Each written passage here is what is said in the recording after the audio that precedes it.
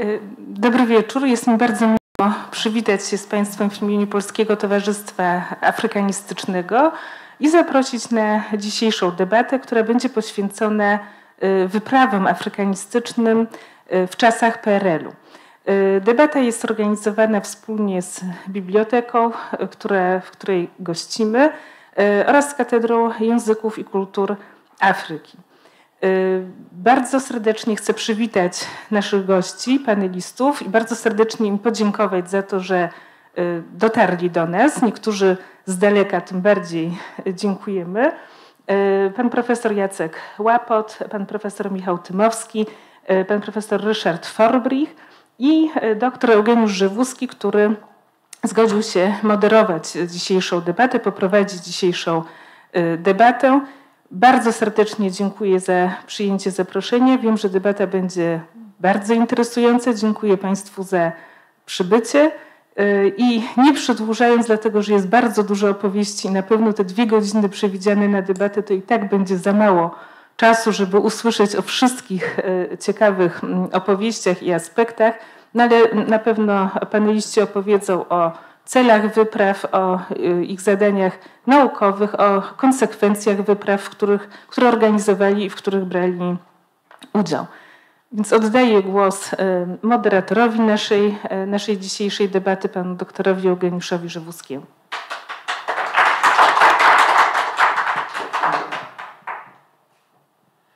Dobry wieczór Państwu.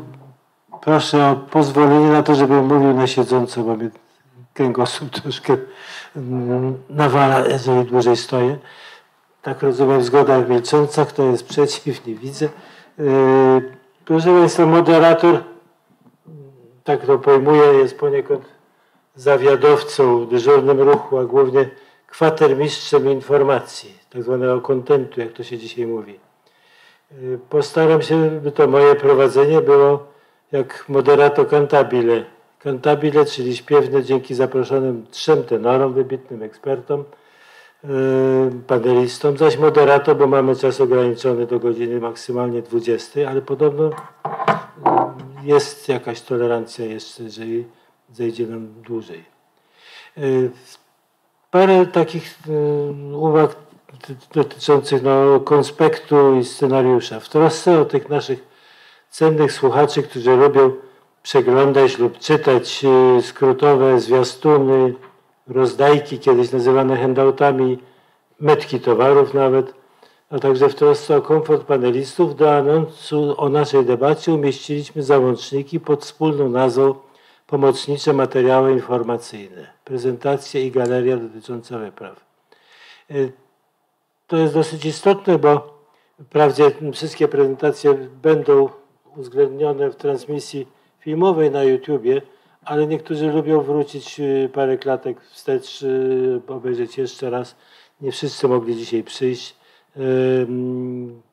Większość audytorium tych, tego cyklu Afrykana Koszykowej mm, to są, y, to są słuchacze, uczestnicy mm, online bez pandemii.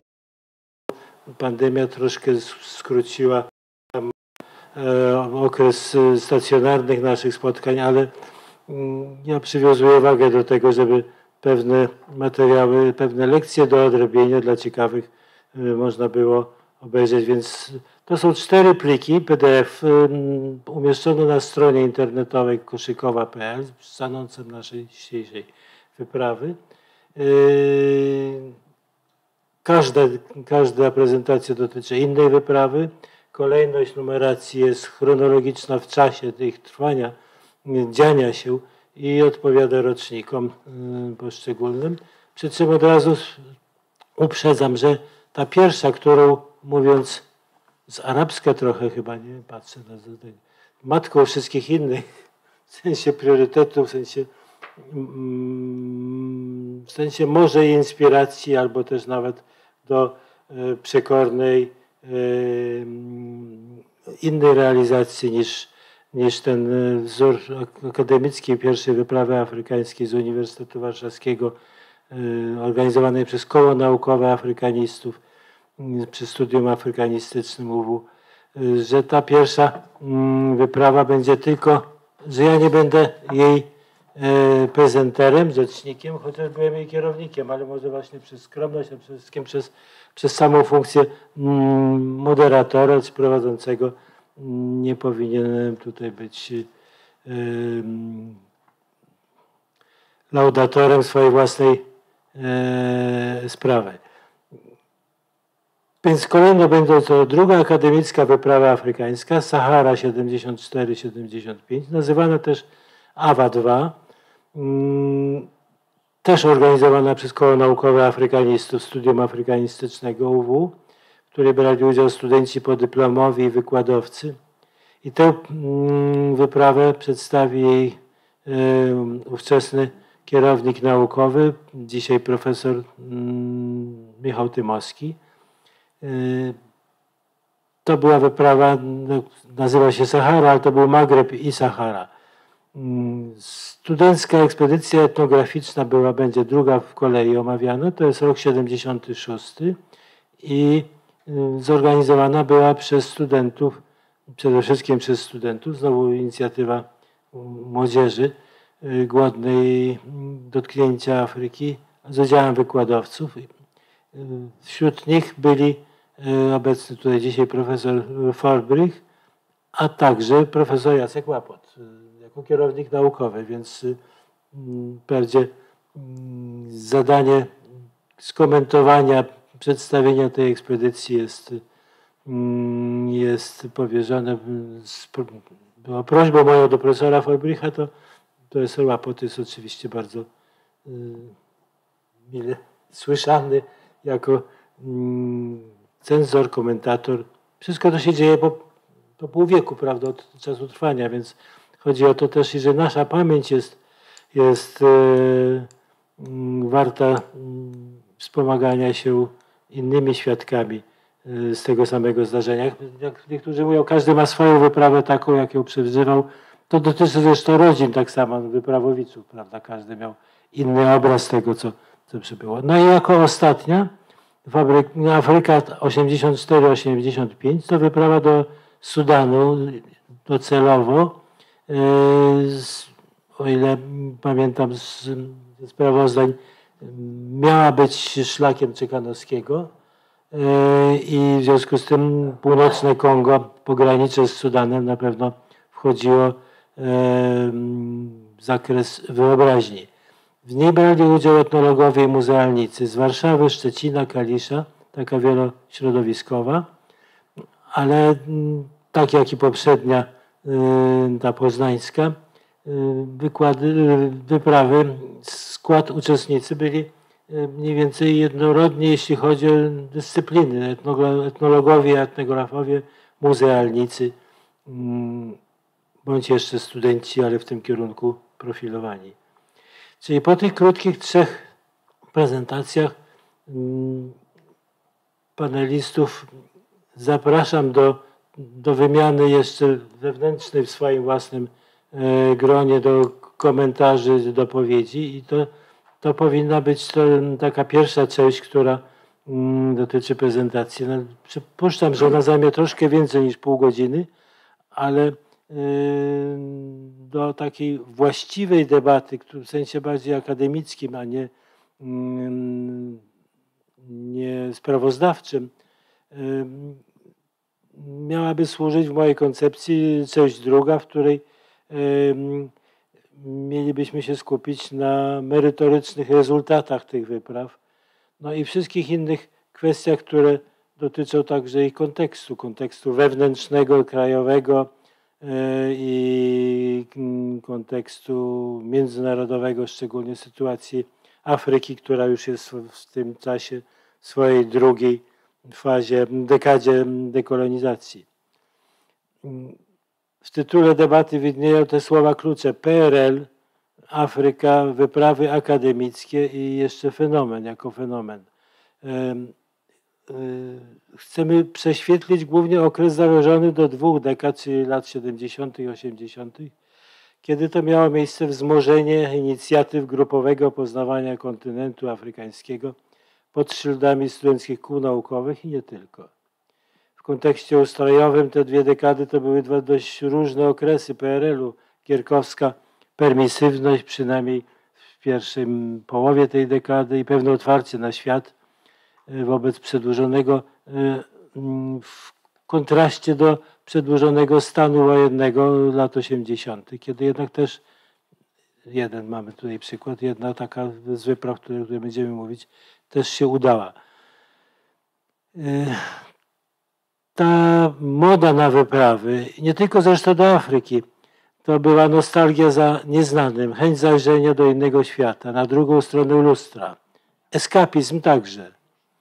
Czy wyraz fenomen w znaczeniu socjologicznym jest tu zasadny? Debata pokaże. Czy był specyfiką polską wśród tak zwanych demoludów? Mm, też warto ten wątek dotknąć chociaż.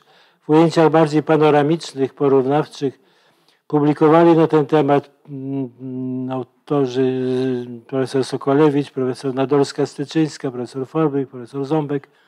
Y, i można tutaj z tych materiałów, z tych publikacji wyczytać wiele y, myśli takich o pewnej dynamice i typologii mm, tych y, sposobów, formatów prowadzenia badań terenowych. Zespołowo najczęściej. Tak. Pomijam te rzeczy oczywiste, które wszyscy jednak przynajmniej z mojego pokolenia mają doskonale w głowie. To znaczy to zupełnie inna rzeczywistość, nie tylko polska, ale światowa. Przede wszystkim, e, przede wszystkim to nie była jeszcze era cyfrowa, nie, nie była w związku z tym możliwość i łatwego komunikowania się i konsultowania dokumentacji, e, komunikowania się w terenie, zabezpieczania dokumentacji era celuloidowa, bo wszystko, co było filmowane, fotografowane, powinno było jak najszybciej trafić do laboratorium, do wywołania, więc w warunkach zwłaszcza tropikalnych, jak pierwsza awa, mm, to był duży problem, co zrobić. Jak najszybciej wysłać do Europy, do Polski najlepiej taśmy filmowe nagrane na, na mm. Spodziewany cel i intencja naszych refleksji nie ma być komemoratywny choć impulsem są okrąglejsze rocznice. Tu raczej chodzi o zachowanie świadectw. Wrócimy po własnych śladach, by przypomnieć i podsumować okres, ten okres poznawania Afryki w czasie szczególnym dla obu stron. Komemoratywne intencje w dyskursie i argumentacji organizatorów ówczesnych wypraw przed półwiekiem odnosiły się do pionierów polskiej afrykanistyki, Rogozińskiego, Czekanowskiego, jako do symboli. Wyprawa sacharyjska nie miała, nie miała swojego patrona, ale mógł być Motyliński, mógł być Lewicki. Mm, można im dopisać takie. W każdym razie na pewno znajomość dorobku tych postaci w badaniach nad, nad Magrebem. Y, na tym się zatrzymam. Chciałem tylko serdecznie podziękować, bo potem w ferworze, w ferworze zamykania spotkania Mm, może to nie wybrzmieć dobrze, albo ja się zatracę jakoś i y, bardzo jesteśmy wdzięczni jako towarzystwo, jako organizatorzy tej, tej, tej debaty y, bibliotece, temu świetnemu mm, miejscu, w którym ciągle codziennie dzieje się kilka bardzo ważnych y, zdarzeń kulturowych. Mm, dziękujemy za naszym cyklem, który ma już ponad 4 lata chyba, o ile pamiętam. No i, i tak i chciałem na koniec jeszcze powiedzieć, że wśród audytorium są dwie osoby, których obecność uosabia nieco inny wymiar duchowego wsparcia dla argonautów czy afronautów, dla których złotym runem była przygoda z człowiekiem. Jeszcze wtedy nie nazywanym innym przez duże I. To jest, y, jest y, pani Agnieszka Bubak, zdaje się, tak? Zobaczymy.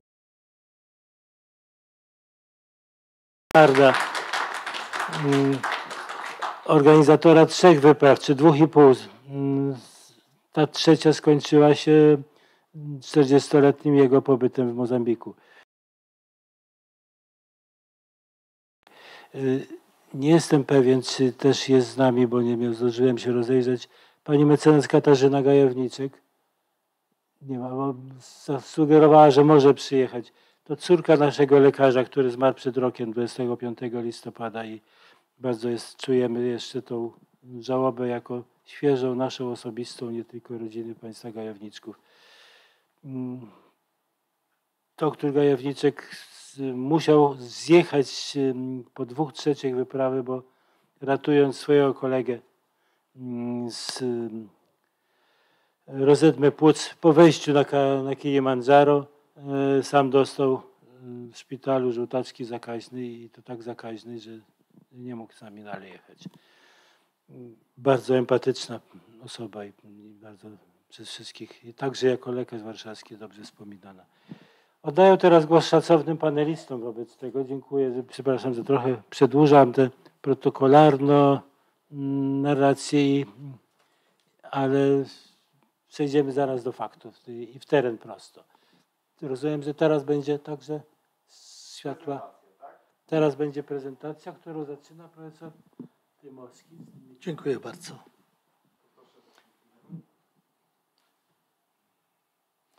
To teraz mapę tę, która otwiera wszystko.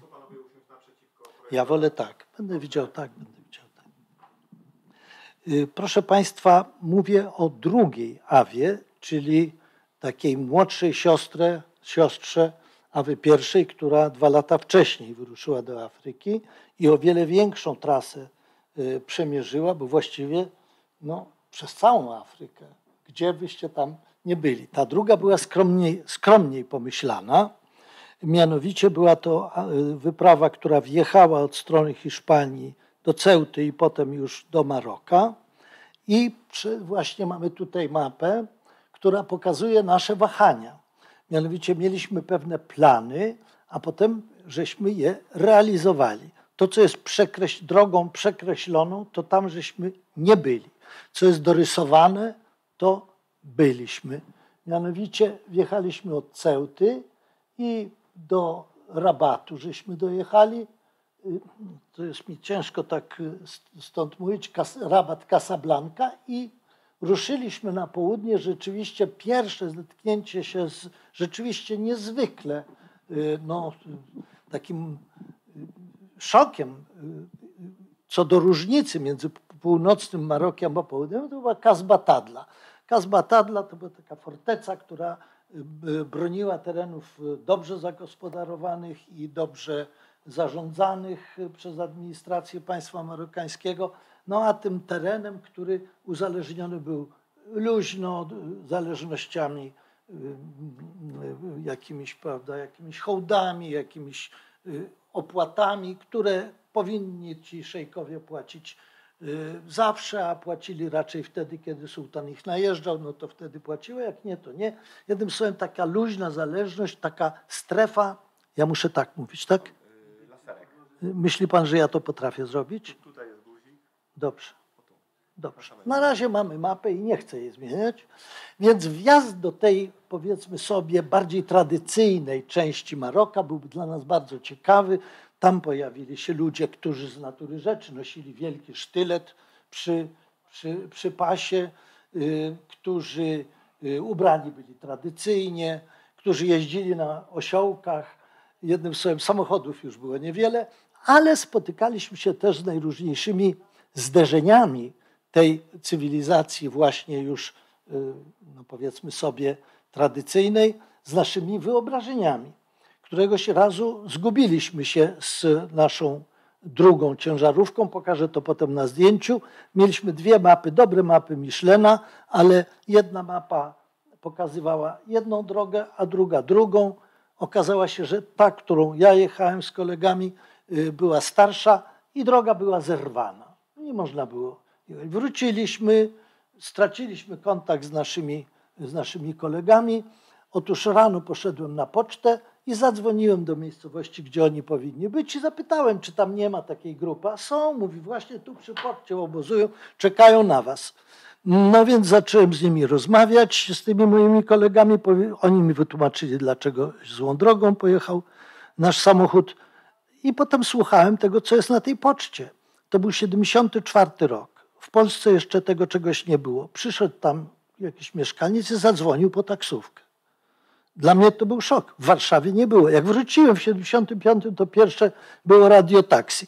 Czyli ta, ta, ta powiedzmy sobie tradycyjność cywilizacji no, była względna. Nasza była trochę bardziej, y, no, gorzej zorganizowana, chociaż bardziej rozwinięta. No i udaliśmy się dalej na południe, już takim kołem, bo musieliśmy dojechać do wybrzeża, żeby wjechać do Sahary Hiszpańskiej. Zaraz tego nie chcę przedstawiać. Tu ma pan laser, którym może pan pokazywać. Nie, to wolę nie. Wszyscy widzą, więc. y, O, tu jest granica Sahary Hiszpańskiej. Nie wiedzieliśmy, dlaczego mamy tak ogromne trudności ze zdobyciem wiz. Okazało się, że myśmy się.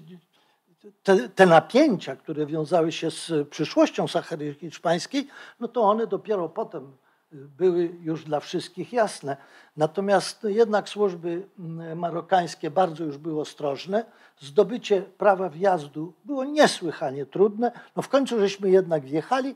Przyznam szczerze, że z punktu widzenia no, jakichś badań, poznania tego kraju, to było jednak nie tak, tego nie, nie mogliśmy tak bardzo podróżować. Właściwie to, cośmy dobrze poznali, to w El, pod El Ayun był duży obóz wojskowy.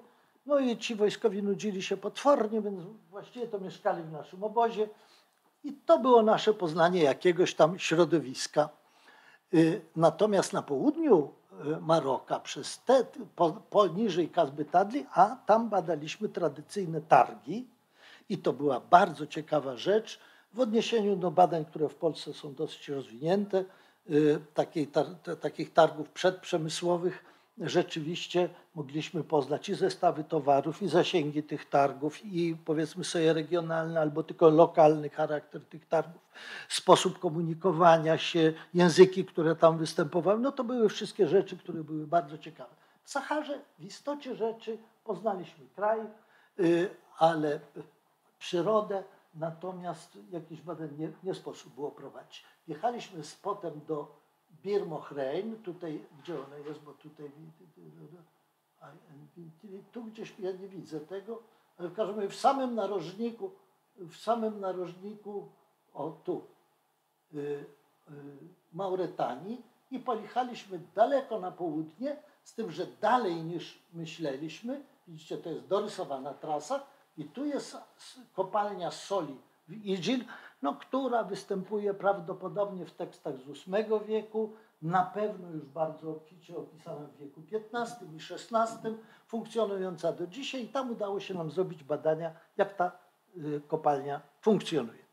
Y, Pojechaliśmy dalej do Ataru i do Szingeti.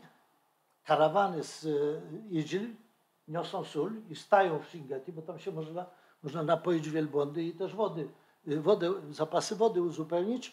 No więc y, y, pojechaliśmy do Szingeti, potem pokażę jakie zdjęcie pokazujące, jak wy- wygląda taka zamierająca już gospodarczo oaza saharyjska. Potem zwrot w drugą stronę, wjazd do Algierii przez Tinduf i ta nasza trasa tutaj biegnie i przy, potem pojechaliśmy w kierunku południowym do najróżniejszych, a najważniejsza z tych oaz to jest oaza Tuat tutaj, między Adrarem a Reganem, też y, y, parę zdjęć pokażę. Y, Oaza Tuat znana jest... Tak? Dobrze. Ale czy Państwo słyszą, jak ja mówię i tak? Przepraszam bardzo, ale robię to odruchowo. Tak, robię to odruchowo. Mm, wie- mo- Oaza Tuat bardzo jest znana z tekstów arabskich, dosyć wczesnych, natomiast y, y, też dlatego jest ciekawa, że tam jeden z pierwszych Europejczyków, genueński kupiec, dotarł i opisał tę oazę połowie XV wieku, co jest rzadkością, bo właściwie konkurencja handlowa i, i, i czynniki polityczne powodowały, że nikt tam dotrzeć nie mógł. Y, Więc tu żeśmy zrobili dokumentację, zarówno, y, nie wiem, czy to się pali, czy nie. No, nie umiem. Najwyższy guzik. Najwyższy, no dobrze. O, tutaj wróciliśmy z powrotem i nie jadąc tu, bardzo wielka szkoda, tu ryty naskalne, najróżniejsze wspaniałe rzeczy, wróciliśmy tą trasą dorysowaną przez Mzab to jest Gardaja, to jest taka oaza, już bardziej bliska północy, bardziej y, rozwinięta w sposób nowoczesny, chociaż jest centrum y, produkcji przede wszystkim daktyli.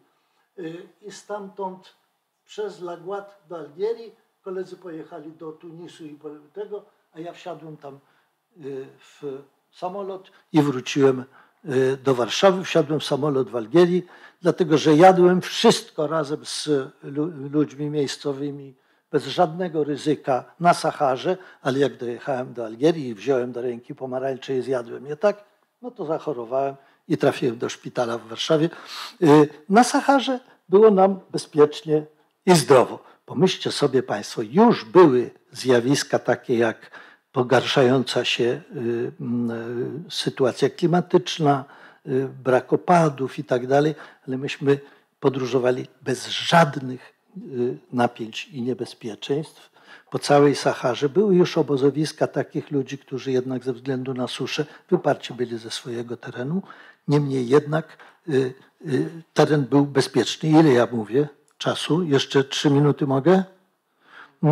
W wyprawie uczestniczyło, słucham? 16 zdjęć, no to, to, sami Państwo, po 3 sekundy na zdjęcie.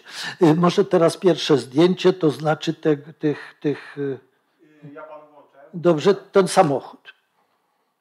Podróżowaliśmy tym samym samochodem, y, tymi samymi samochodami, które pierwsza Awa, tylko zreperowanymi, remontowanymi. Sprawia, sprawowały się znakomicie właściwie wszystkich turystów, a wtedy spotkaliśmy nowe dla nas zjawisko. Myśmy byli w jakiejś euforii, że my jedziemy z Polski na taką wyprawę, do której nikt właściwie nie miał szans, a tam turystów pełno, młodzieży, przede wszystkim takimi małymi y, busikami Volkswagena y, jeździli. Po cztery osoby z paliw nie potrzebowali nawet namiotów.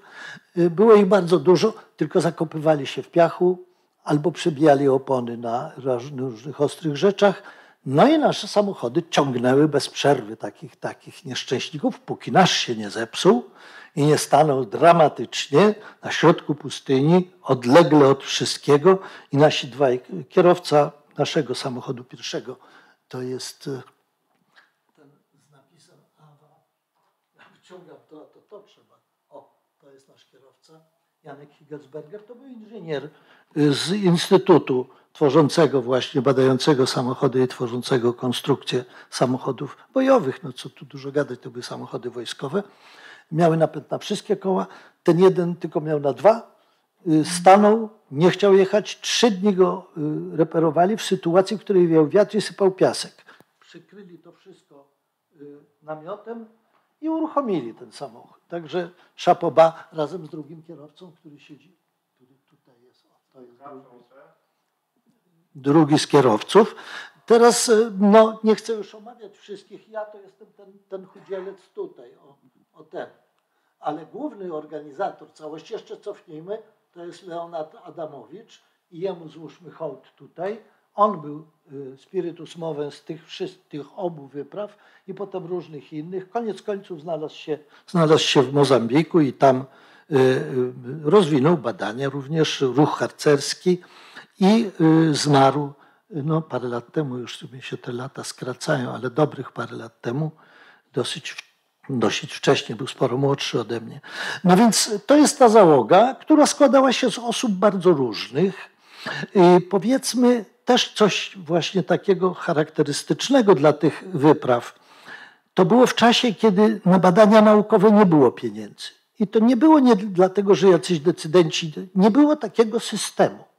Nie było systemu opłacania badań. Jak ja coś napisałem książkę, to za książkę dostawałem spore, jak na dzisiejsze czasy kolosalne, honorarium. Natomiast żyłem z pensji i pisałem książki. Jak pisałem mało, to trudno, jak pisałem dużo, to trudno, pensje miałem. Niemniej jednak finansowanie było ex post, co pewną kontrolę dawało władzy, bo jak się napisało rzeczy, to dla Afryki nie miało znaczenia, no ale przy badaniach jakiejś historii najnowszej miało. No to nie było publikacji i nie było honorarium. Nie było systemu opłacenia badań naukowych w Afryce. Poza wypadkiem stacji naukowej w Kairze, prawda? i badań na pograniczu y, Sudanu i Egiptu. Otóż było dla studentów. I to była ta szansa obu tego. Był system finansowania wyprawy naukowej studenckiej. Do jakiego stopnia była naukowa, zależało od uczestników. Do jakiego stopnia, już zaraz kończę, do jakiego stopnia ona była turystyczno-poznawcza, zależało od uczestników. Może potem powiem o publikacjach związanych z tą, wystawą, z tą wyprawą, a na razie zakończę. Dziękuję Państwu bardzo.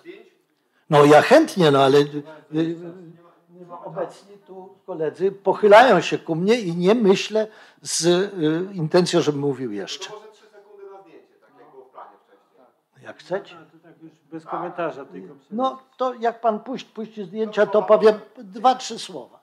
Czy mogę, czy pan będzie to? Tym? To jest sytuacja, w której obsunęła się ziemia i mu, o, to właśnie, gdzie samochód ugrzązł. Odbudowaliśmy tę drogę, ale mało skutecznie on z po- z powrotem spadł. Musieliśmy wielką linę wbić między skały i wyciągnąć ten samochód. Za pierwszym razem urwał się wielki bolec i leciał w naszym kierunku. Wszyscy leżeli na ziemi, a on leciał nad nami. Za drugim razem za wielką skałę żeśmy się i wyciągnęliśmy ten samochód. Ale pojechaliśmy 10 kilometrów dalej, dalej, dziura była jeszcze większa. Zawróciliśmy i właśnie potem dzwoniłem do tego drugiego samochodu. Tutaj jest scena z rozpaczy. Ten, ten chudzielec jest, to jestem ja, y, a, a drugi to jest ten Janek Higgensberger. Tu jest z kolei scena odpoczynku, pijemy herbatę i tak dalej. Y, Zaraz. Teraz dojeżdżamy do tej kopalni soli Idzil, o której mówiłem. Tak wygląda dom górnika, kopacza, tego, co w tej kopalni wydobywa sól. Chyba nie ma gorszego miejsca na ziemi. Y, Właściwie w tej chwili to tam pracują przede wszystkim niewolnicy i to tacy niewolnicy w kraju, w którym nie ma niewolnictwa. Natomiast tak wygląda ta tego. Tutaj jest pierwszy wykop i Karol Argasiński, który y, fotografuje, a tam są y, no, tam są już te tafle soli wyciągnięte. Idziemy dalej. O Jezus Mario. Tutaj no więcej ta sól się znajduje na takich niewielkich y, głębokościach. Widzieliście, że ta chata jest na takiej ogromnej równinie. Ta równina to jest dno jeziora, które wyschło. A sól opadła i utworzyła y, warstwy soli, z której jedna ma 10 centymetrów i można po- potężne wykory. Tutaj też te wykopane, wykopane, y, y, jak one się nazywają, powiązane tego. Tutaj ja to opisuję, ale była cecha, rzecz bardzo ciekawa. Byliśmy na równinie, pełno kolegów tam się znalazło, nie wiedząc, co tam będzie. Ja wiedziałem, że będzie kopalnia soli. Ja to notowałem, ale na oku kłębił się tłum wszystkich naszych uczestników. Byli niezwykle tym zainteresowani. To było coś, to była kopalnia, która działała tak, jak w tym VIII wieku, kiedy została wspomniana, jak w XIV, XV, XIX i XX. No więc tak to, to, to wyglądało. Tu jeszcze prowadzę wywiad już nie z tymi na biało ubranymi w szmaty właściwie, tymi nieszczęsnymi kopaczami, tylko z tymi, którzy, którzy z karawaną przyjechali załadować te, te, te one mają sznury, te tafle, bo to po trzy na wielbłąda idą i wielbłąd się posuwa dalej. Jeszcze tylko fogary Państwu pokażę. To jest y, jedna z oaz saharyjskich, już nie będę jej omawiać. To jest fogara, nie wiem czy ktoś będzie mówić o fogarach. Fogara to jest system, w którym wodę prowadzi się z, powierzchni podziemnej, ale z wysokiego y, takiego płaskowyżu. Tam ona pod ziemią jest, trzeba się do niej dokopać, zrobić kanał, który będzie leciutko spadać i wychodzić na równinie przy, przy oazie. To jest, to jest ten kanał, on ma takie otwory, żeby zobaczyć, gdzie się zatkał. Dochodzi do, y, do oazy i to jest coś, co się nazywa grzebień. Mianowicie to. Do każdego pola jest jedna taka mała, jeden taki mały kanalik. I teraz nie ma własności wody, jest własność ziemi. Mierzy się to taką plakietką. kradzież nie jest na podorywaniu pola, tylko kradzież polega na tym, że podbiera się troszeczkę tego kanaliku komuś i bierze dla siebie. No więc taką żeśmy rzecz zrobili. Intensywność Twojego spojrzenia jest wystarczająca. Przerywam to. Dziękuję bardzo i przekazuję narzędzie wszystkim zbrodni, a poza tym głos zamykam. Dziękuję bardzo. Przenosimy się do, do wyprawy, która udała się do, do, do, nie Senegalu, do Mali i do Kamerunu. Okej. Y, To ja bym prosił o pr- prezentację. To jest druga. Proszę mi poinstruować. 75. Laserek się dusi tutaj? Działa? Ta prezentacja? Nie. Sahara była teraz? Trzecia.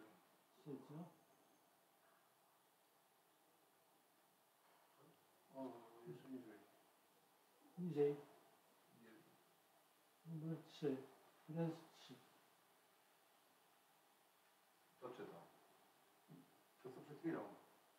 To. No, ja jej nie poznaję, bo strona tytułowa, tak? No dobrze, no to proszę kolejną, kolejną, kolejny slajd, jeśli można.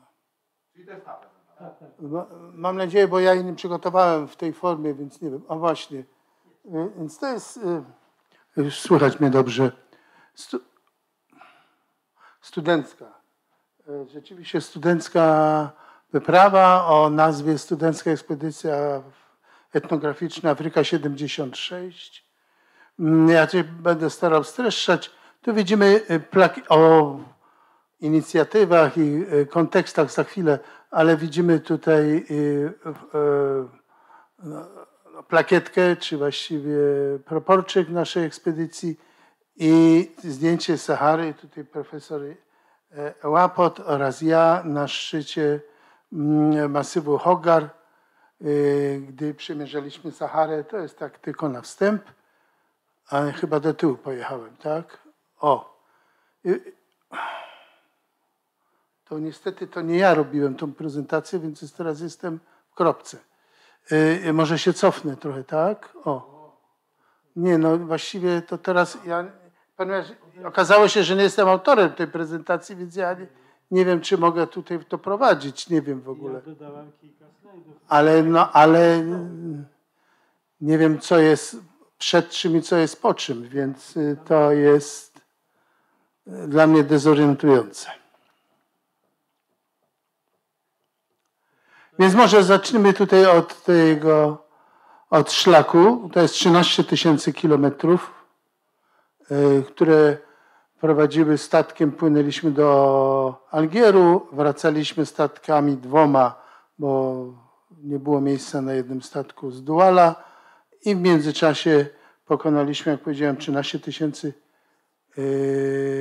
kilometrów. O uczestnikach ja będę mówił. To tylko krótko o kontekście, bardzo dobrze powiedział pan profesor. No co tu dodać? No to był inny świat, inny sposób finansowania. Nie było NCN-ów, ani fundacji, ani kulczyków, ani nic takiego. Ale byli pierwsi sekretarze partii. Tak, to był ten kontekst, o tym trzeba pamiętać. E, e, taki krótki to był. No nie chcę jechać dalej. O. Przede wszystkim nie wiedzieliśmy, y, że to się nie da. Gdy startowaliśmy z tą naszą inicjatywą, y, y, notabene to była grupa inicjatywna, to było trójka kolegów, którzy nie pojechali na tę wyprawę. Tak się życie toczy. Ale gdy zaczynaliśmy, to nieco starsi koledzy, którzy mieli doświadczenie lat 60., wiedzieli, że to jest niemożliwe. Jest jakieś porywanie się na, motyką e, e, na słońce. Myśmy nie mieli tej świadomości, bośmy żyli już w epoce e, Gierka i się zamachnęliśmy i przede wszystkim szukaliśmy jakichś wzorców, pytaliśmy się alpinistów, próbowaliśmy jakiejś profesjonalizacji.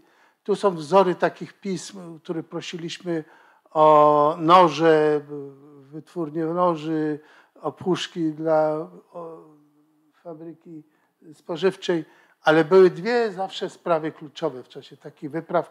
Myślę, że w czasie wyprawy AWA 1, AWA 2 było podobnie.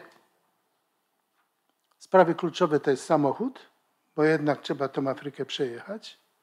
I druga sprawa kluczowa, mieć dewizy na paliwo, bo samochód można było załadować sprzętem i żywnością na pół roku, co też zrobiliśmy. To tak zupełnie jak wyprawa na Marsa. Proszę sobie wyobrazić, jedziecie na pół roku i nie możecie korzystać z zasobów środowiska, w którym się znajdujecie, bo nie macie ani centa. Jedyne dobro, które mogliśmy czerpać na miejscu, to była woda pitna. To było wszystko. A więc trzeba było mieć te dewizy na paliwo, na tłumaczy, etc. I te dwie rzeczy zajęło nam najwięcej czasu, ale y, się udało, to długo opowiedź jak, ale to nie ma na to czasu. Tylko jedną rzecz powiedzę, bo to oddaje nam sposób załatwiania e, takich spraw w PRL-u. Dojścia. Kto nie miał dojścia, ten nic nie miał.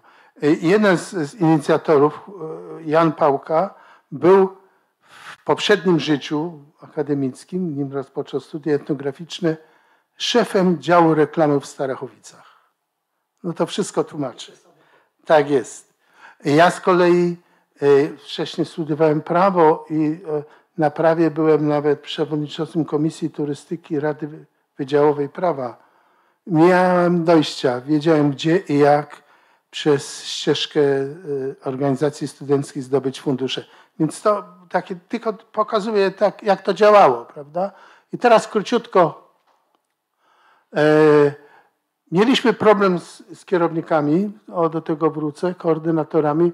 Jan Pałka zrezygnował, pojechał z nami y, doktor Szram, późniejszy wielki profesor historii, y, przewodniczący Komitetu Nauk Historycznych, pan E, który rozchorował się w Algierze i wrócił i potem tacy biedacy podróżowaliśmy, ale mieliśmy opiekuna naukowego, wtedy młodego magistra e, Łapota, mm, jak e, się znalazł w naszej grupie za chwilę, mm, był doskonały sekretariat prowadzony przez Włodka Żukowskiego. Uratował mnie raz skórę, bo on był poetą i trzaskał na maszynie wnioski o wszystko, co się da, jak, jak, dzisiejszy, jak dzisiejsza drukarka z, taką, z takim tempem. Był skarbnik Tomek, już świętej pamięci Maniuś, który dla mnie był według mnie najinteligentniejszy z naszej grupy, ale najwcześniej umarł niestety. Mm, e, był kwaterist Paweł Kostuch, to była nasza mniejszość etniczna, bo on był pół krwi Kaszubem, pół krwi Rosjaninem więc taki dziwny związek. Y, no i byłem ja, który byłem sprzętowym, lekarzem ekspedycji, był Andrzej Polaszewski, kierowca mechanik przydzielany przez uniwersytet i na krótko na, dołączył do nas fotograf y, Zbigniew Staszyszyn. Tak jak wyglądało życie, prawda? Y, jak się wyglądało pakowanie, logistyka, to za dużo opowiadać. To ta, ta, ta, ten slajd wszystko pokazuje. Powiem tylko tyle, że w porównaniu z Awą pierwszą, Awą drugą, to byliśmy kopciuszkami. Mieliśmy tylko przydział na zakup po obniżonej cenie 1800 dolarów, co nie jest dużo, mm, e, e, ale o efektach to będzie mówił Jacek. To, to był największy efekt, te 1300 eksponatów, czy prace magisterskie, pierwsze w Polsce, w ogóle w historii Polski, etnografii pierwsze prace magisterskie etnograficzne napisane w oparciu o oryginalny, zgromadzony w terenie afrykańskim materiał. I teraz jak wyglądał ten samochód? Y, oczywiście w kabinie siedziały dwie osoby. Y, nad kabiną taki mały mm, y, bagażnik, gdzie był sprzęt biwakowy, namioty, etc. Mm, potem Pług skrzyni zajmowała kabina pasażerska, gdzie były kanapy, bardzo dobrze, dobrze wymoszczone. Drugie pół to była część bagażowa, gdzie było ponad 48 e, kontenerów z żywnością, ze sprzętem. I ostatni taki dowieszany bagażnik, to była kuchnia. Chodziło o to, żeby jak się zatrzymujemy na nocnik, nie otwierać tej skrzyni, tylko szas pras, wyjąć kuchnię, wyjąć namioty, aby rano znowu szybko zapakować. I to jest podróż, podróż przez y, Morze Północne, Bałtyk do Algieru. Tu u nas samochód, oj, jak, jak się to włącza ten, Na samej górze jest taki przycisk, mało widoczny, pod kciukiem, tylko na, jeszcze wyżej. Nie, nie, nie, nie, nie, nie. Tutaj tak? Aha, bo ja cały czas niestety nie przeszedłem szkolenia. No nieważne. Nad strzałkami. Jest strzałka w lewo i w prawo, a nad nimi jest jeszcze guzik. No, to muszę cofnąć. No, przepraszam. To zostawmy te szczegóły i zaraz, zaraz zostawmy sobie. E, Widać samochód, e, przepływamy ciśnienie gibraltarską. Na jedną rzecz chcę zwrócić uwagę. Czarno-białe zdjęcie. To jest Jacek, jestem ja, Włodek Żukowski. Co, się, co robimy? Robimy seminarium afrykanistyczne.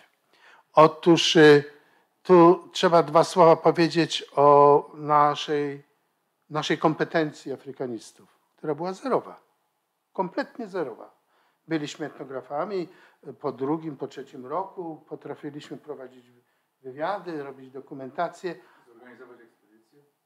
To się uczyliśmy dopiero. Ale, ale, e, zaczekaj, bo chcę o tobie powiedzieć. I uniwersytet bardzo nas wspierał, ale platonicznie. Prawda? A, y, I przydzielił nam e, opiekuna, magistra etnografii.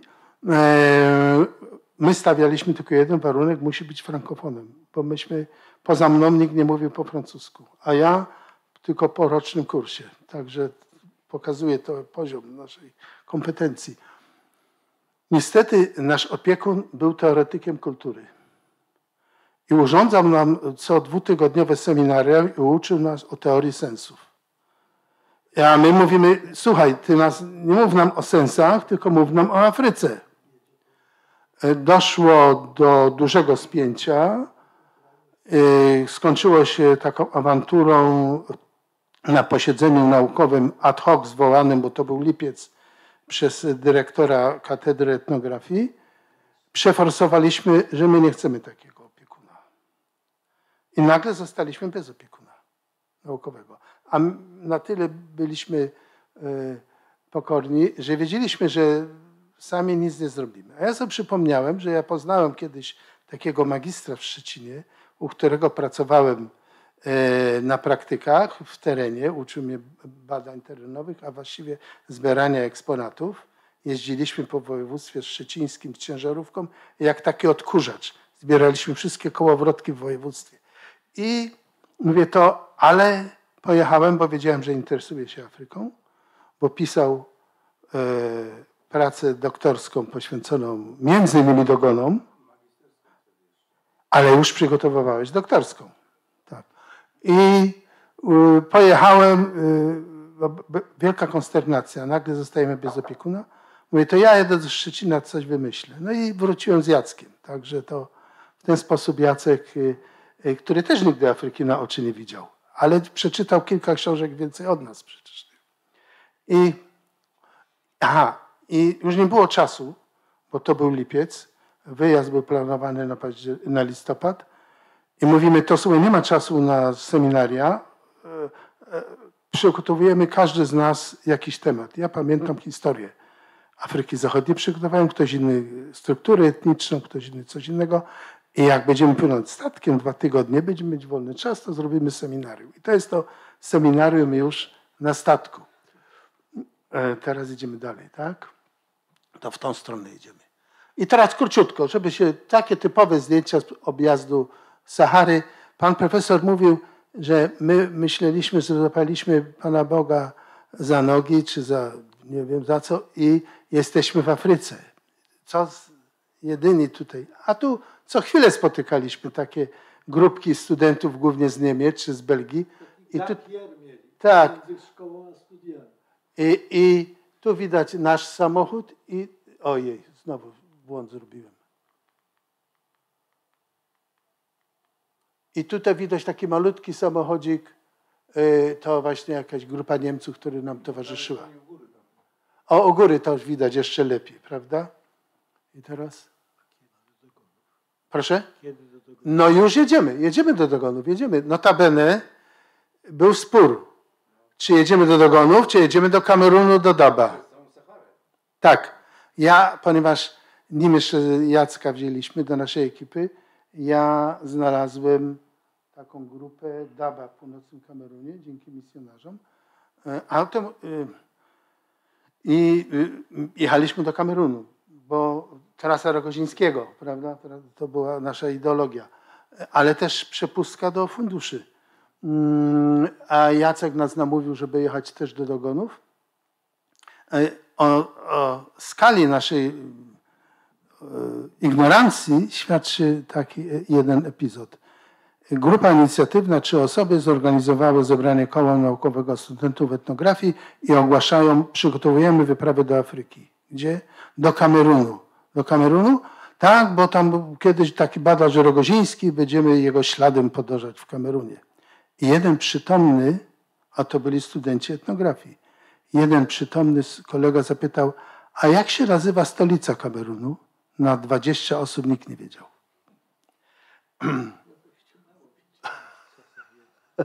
Tak. To jest już właśnie króciutko taka migawka z Kamerunu. Tak, y, z, z Mali, z, y, z Dogonów. Tak, widać taką typową, y, bo mieliśmy y, namioty bazowe i namioty szturmowe. To są właśnie namioty szturmowe. Mm, y, To zdjęcie y, po lewej na dole to jest dla mnie ważne zdjęcie, bo pierwszego dnia, kiedy mieliśmy wyjść w góry, ja dostałem taką malarię i traciłem przytomność i tutaj właśnie leżę. Y, Jacek podłożył mi pod głowę saperkę, prawda? Tak jest. I ja mówiłem, żebyś mnie pochowali. To, bo ja już... I takie, i głównie to były właśnie takie, takie migawki z tych dogonów o efektach naukowych to potem. A teraz takie dobre zdjęcie, nagrywanie mm, pieśni dogońskich i taka strzałka. Ten pan z tym bębenkiem, to na dole jest zdjęcie y, kolorowe. 20 lat później go spotkałem w tej samej wsi i podarowałem mu to zdjęcie. A zdjęcie po lewej na dole, to pod tą samą skałą, gdzie z Jackiem prowadziliśmy te nagrania, ja z moją córką, która wybrała się na kolejną taką wyprawę. To właściwie prowadziliśmy projekt rozwojowy tam, prawda? Już, już, już, już, już, już kończymy. Potem króciutko byliśmy nad jeziorem Czad. Jacek miał taką ideę, że chce przywieźć do muzeum y, w mieście portowym, gdzie jest dział morski, przywieźć y, trzcinową y, łódź z nad jeziora Czad, tak zwany kadaj. Pierw szukaliśmy, znaleźliśmy, ale była zniszczona i zamówiliśmy i od ręki przez trzy dni nam zrobili nowy taką, taką łódź. Potem ten jest. To już jest kraj Daba w Kamerunie i no, takie typowe sceny, między innymi pogrzeb, tam e, prawa zdjęcie u góry i chcę zwrócić zdjęcie czarno-białe na dole. To jest nasz obóz e, pod Kajsedrą i kilku kolegów i ja siedzę na takim kamieniu. Ja to pamiętam, e, Jackowi zawsze wypominam i pytałem się Jacka w tym, w te, tego dnia, w tym miejscu. Słuchaj, no właściwie, z którego terenu mam robić pracę magisterską? Bo więcej mam materiału e, z e, dogonów, ale tutaj Daba też jest ciekawie. A Jacek powiedział, słuchaj, to doktorat zrobisz z Daba, co się oczywiście sprawdziło, prawda? I teraz na tym samym kamieniu siedzę 20 lat później. Już kończymy. Krótko przejazd trasą Rogozińskiego, na który właśnie zarabialiśmy pieniądze, bo Komitet Wojewódzki Partii PZPR w Kaliszu, to Jacek załatwiał, ona przydzielił nam 100 tysięcy złotych za dokumentację z trasy Rogozińskiego. Dobrze pamiętam? Tak jest.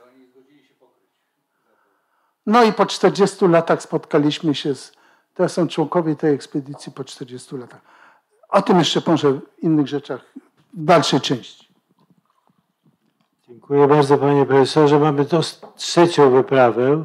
Y, proszę, zwracam jeszcze uwagę na to, że te prezentacje wszystkie są dostępne na stronie internetowej i tak dodatkowe informacje typu bibliografia, sprawozdania i tak dalej. Tam są wszystkie referencje do, do przeczytania, więc to, to jest na pewno y, bardzo ważne. Trzecia wyprawa to już jest czas, dekada lat 80., politycznie inny czas, y, może bardziej ponury jeszcze niż ten y, zwodniczy wczesny Gierek. Na tej wyprawie był nie tylko profesor Łapot, ale także profesor Maciej Ząbek, którego bardzo witam i zapraszam do, do komplementarnego tej części. Także e, rozumiem, że efekty tej poprzedniej wyprawy będą w drugiej części naszego spotkania. Jeżeli będziemy mieć czas, oczywiście. natomiast no, e, tutaj e, pragnę zauważyć, czy poinformować te osoby, które nie wiedzą. No, ja przez no, połowę swojego dorosłego życia pracowałem w muzeum i i z chwilą, kiedy, kiedy Rysiek zaproponował mi udział w tej, w tej pierwszej wyprawie, no to dla mnie było takie, mówiono tu już kilka razy o złapaniu Pana Boga za nogi, ale ja przynajmniej za jedną nogę złapałem e, Pana Boga wtedy, bo e, doszedłem do wniosku, że to jest właściwie jedyny sposób, kiedy można naprawdę w sposób e, skuteczny i naprawdę taki dość, dość pełny zgromadzić eksponaty dla, dla muzeum. I pamiętam jak dziś, już to kiedyś nawet opisałem, że jak zgłosiłem mojemu dyrektorowi no, profesorowi Filipałakowi, że chce jechać do Afryki, to on powiedział, no e, panie Łapot, ja nie wierzę, że pan coś znalazł w Afryce i przywiózł, ale jak ja pana nie puszczę, to pan mi będzie do końca życia wypominał. No już nie będę tutaj złośliwy i nie będę mówił, że dyrektor w czasie swoich wypraw przywiózł 300 e, eksponatów, a my z pierwszej wyprawy przywieźliśmy ponad 1200. Ale to już tak no nie, ale miał, yy, miał ciężarówki, które go woziły na, na pole badawcze i, i, z powrotem. No dobrze, ale to teraz wrócimy do tej może ostatniej wyprawy. To jeżeli pan puści te, te, te slajdy. To jest ta czwarta właśnie, to co jest na, na, tam jest na dole, to żółte. Nie wiem jak tam u pana, która to jest. Nie, to nie ta, też nie ta.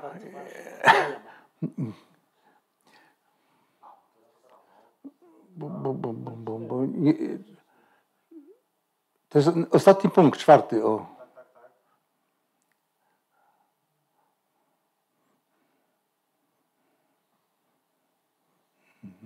Tak, tak, tak.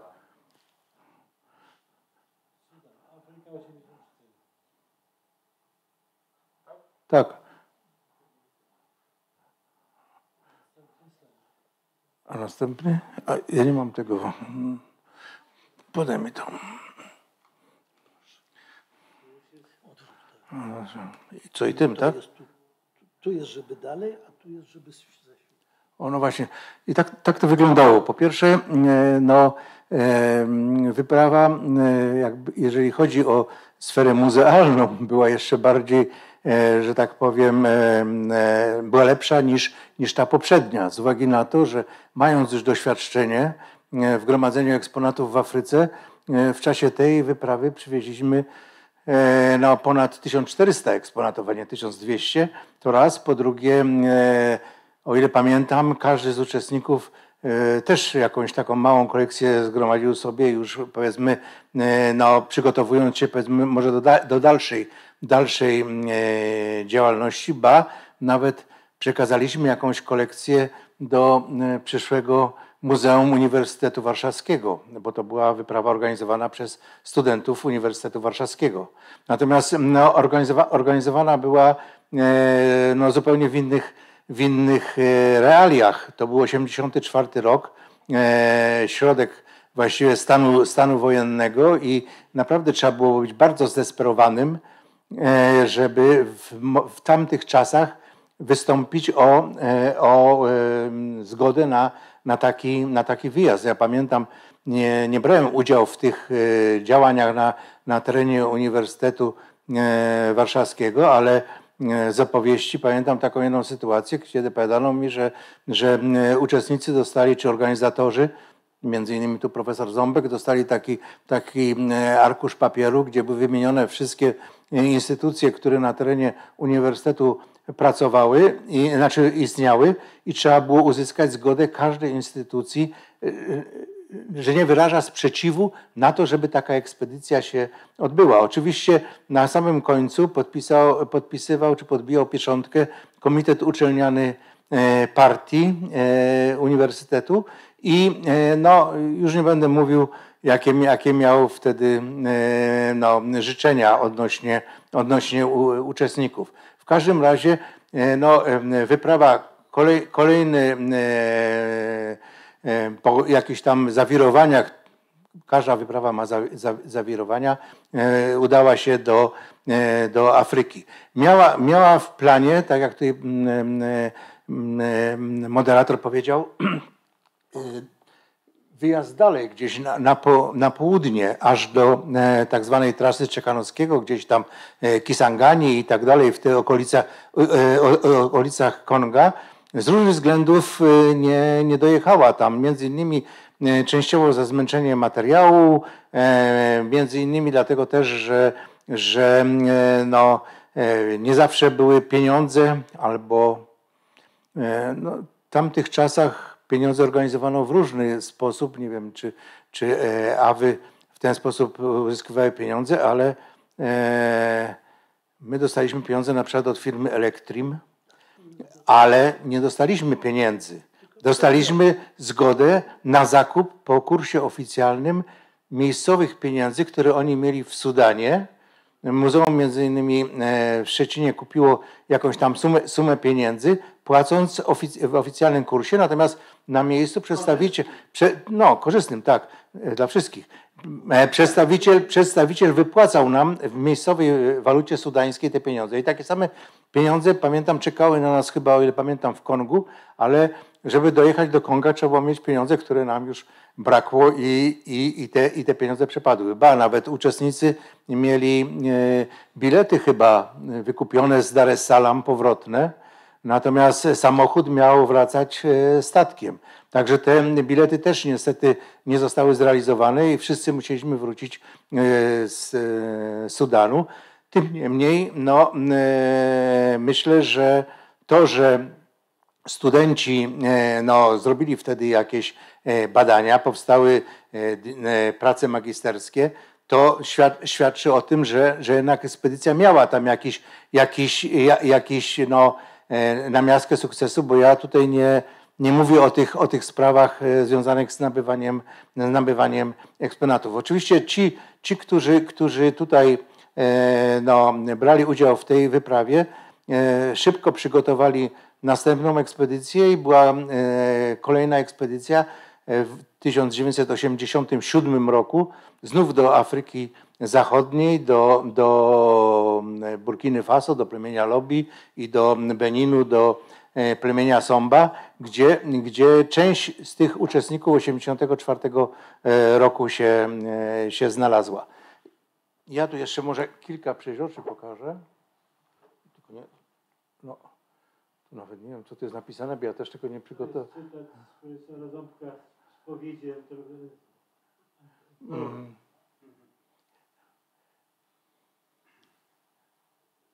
No nie, oczywiście, że z perspektywy deklarowanych celów nie, był, nie było to sukces, bo jeżeli ktoś planuje dojazd do Konga, a dojeżdża do Sudanu, to można powiedzieć, że zatrzymał się w połowie drogi. Ale, ale to jest mniej więcej e, ten sam, e, ten sam może odprysk, który mówił Rysiek, że no, planując wyjazd gdzieś tam do, do e, Konga, nie zdawaliśmy sobie sprawy, jaka, jaka to jest odległość i ile, ile trudności trzeba będzie pokonać i ile pieniędzy na to, na to przeznaczyć. No ale to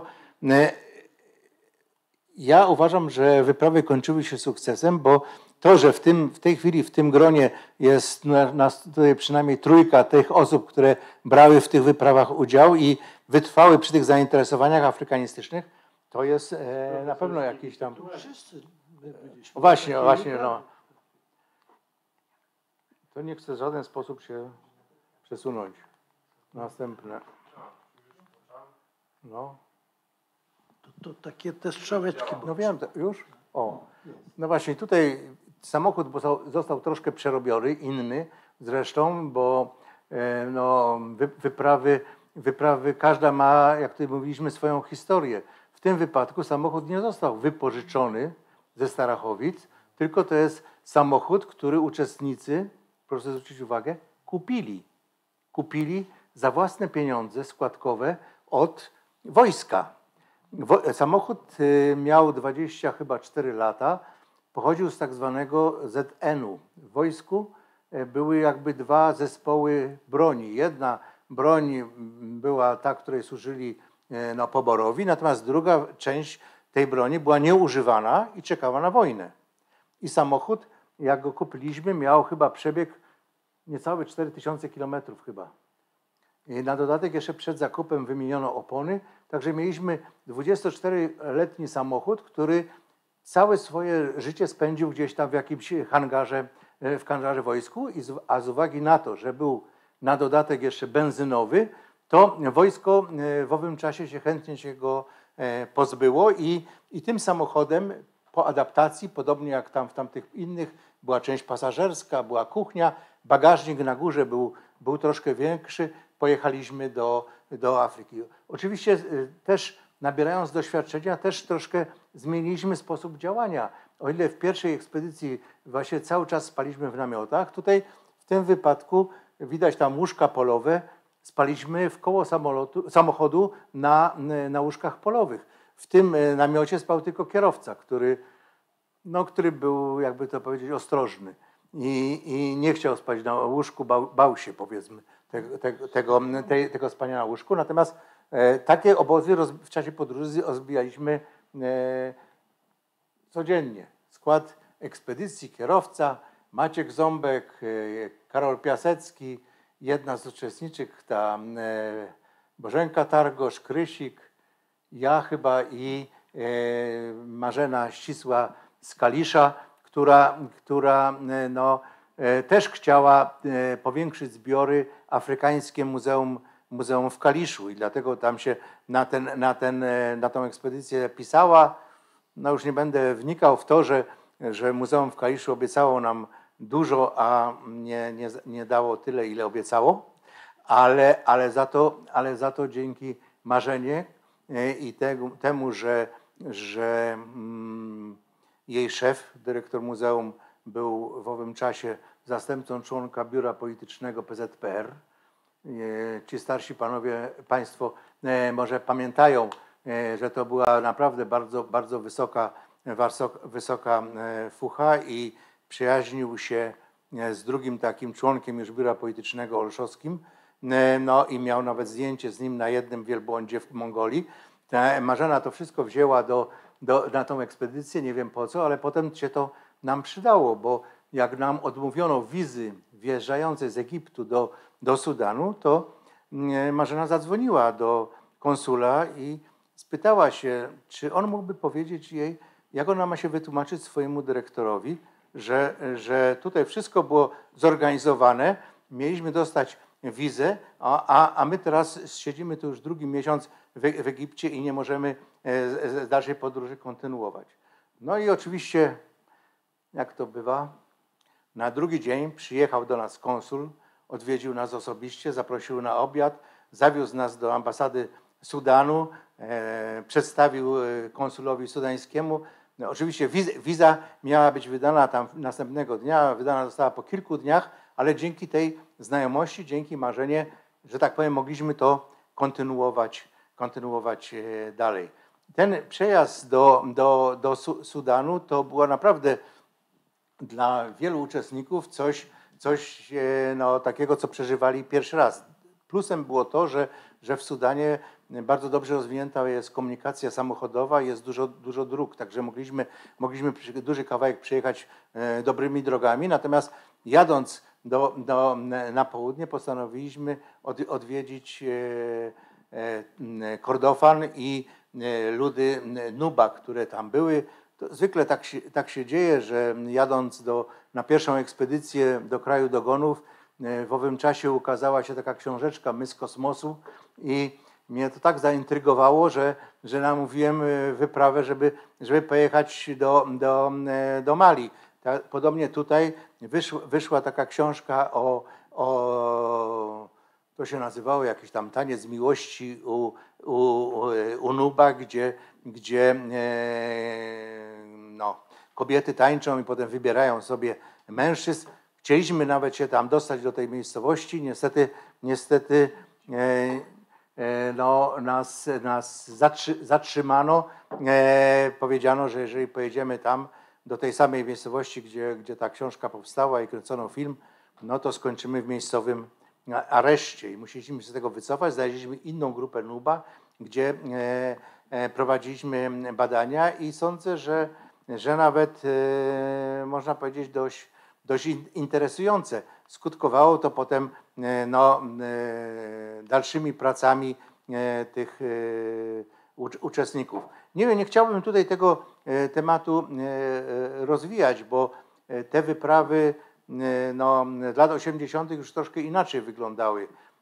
Zarówno my nabieraliśmy doświadczenia w organizacji wypraw, jak i, jak i w samym tym poruszaniu się po, po Afryce. To nie, nie było już takie, takie dla nas straszne. Pamiętam, że następną wyprawę, którą przygotowywaliśmy do Sudanu, bo chcieliśmy kontynuować te badania w Sudanie w 1987 roku.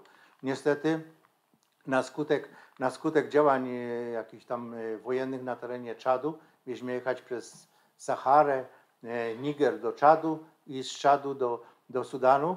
No niestety nie, nie dostaliśmy tej, tej wizy, natomiast, natomiast no, doszliśmy do wniosku, jak samochód jest zapakowany, wszyscy już są, jak to się mówi, w blokach startowych, no to zamiast do e, Afryki Wschodniej pojechaliśmy do Afryki Zachodniej, wtedy trafiło się nam to, to lobby Burkina Faso i, i Somba. No i, i no, nie, tylko, nie tylko skorzystali na tym uczestnicy, ale także Muzeum, Muzeum e, Narodowe w Szczecinie, które też zgromadziło, ma kolekcję z tych, z tych rejonów zupełnie no, nie, nie, niespotykane.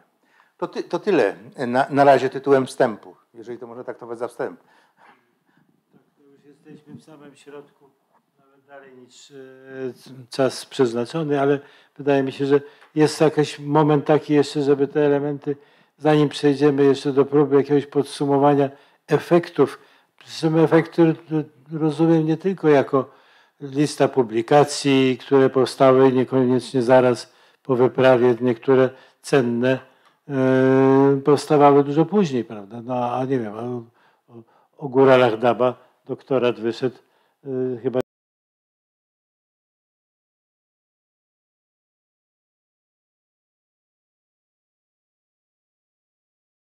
jeszcze troszkę na tych y, warunkach wewnętrznych i zewnętrznych, bo takie wątki tu były poruszane. Polskie instytucje, instytucje mm, polityczne, rządowe, y, trudno było cokolwiek zorganizować w Polsce wewnątrz, nie mówiąc o wyjazdach bez ich udziału, bez jakiegoś yy, ok, i, a czasem nawet po prostu bez finansów. E, nawiążę tutaj do pierwszej tej wyprawy afrykańskiej.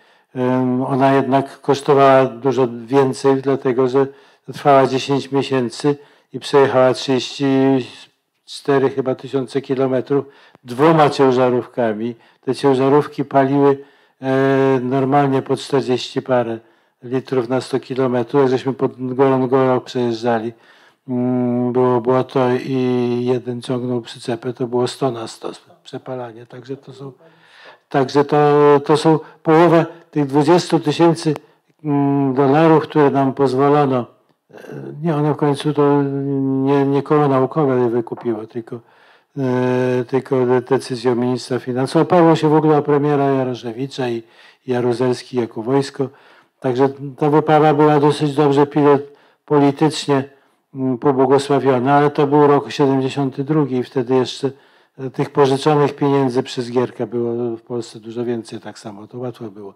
Była mowa o tych technikaliach, yy, tak, te, tak istniały tak zwane dolary clearingowe, czyli rozliczenia, tak żeśmy Algierię i Egipt sfinansowali przez to, że dostaliśmy cek do pobrania w miejscowej walucie, a nie w dolarach. No także to.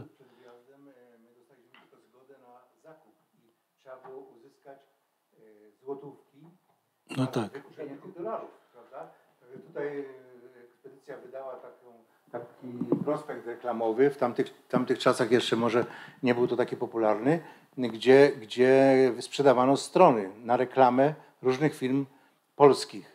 I z tego, z tego prospektu, z tych pieniędzy udało nam się wykupić dopiero te, te, te dolary. Natomiast każdy z nas e, dostał jeszcze promesę, ale w tamtych czasach no, promesa to... Ludzie nie wiedzą, co to jest promesa. Jak nie wiedzą? Młodzi nie Nie, wiedzą. nie. Młodzi może nie wiedzą. No, Prawo, prawo wykupienia.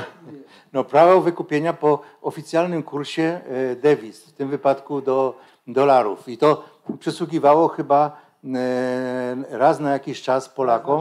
E, Natomiast no, nie, nie, 120 było, nie było tak, że to było obligatoryjne. Trzeba było oczywiście złożyć podanie, u- jakoś je u, uzasadnić i e, my dostaliśmy to przy, pierwszy, przy, pierwszej, przy pierwszej ekspedycji. Natomiast, natomiast e, no, faktem jest, że e, już kończę, Rysiek, kończę.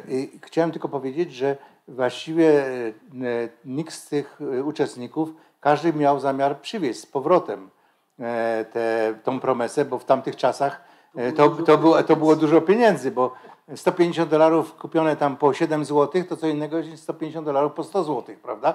I, i namówiłem uczestników, uczestników ekspedycji, żeby e, ulokowali te pieniądze w takich nieosiągalnych dla mnie zamianą za rzeczy e, eksponatach, prawda? I, i, do, i, do, i, wtedy, I wtedy mogliśmy dogadać się, kupując e, to w ramach no, planów muzeum. Maciek, Ja chciałem o tych dewizach dopowiedzieć, bo y, tu siedzi grono młodych osób, których tych czasów nie pamięta, na szczęście może.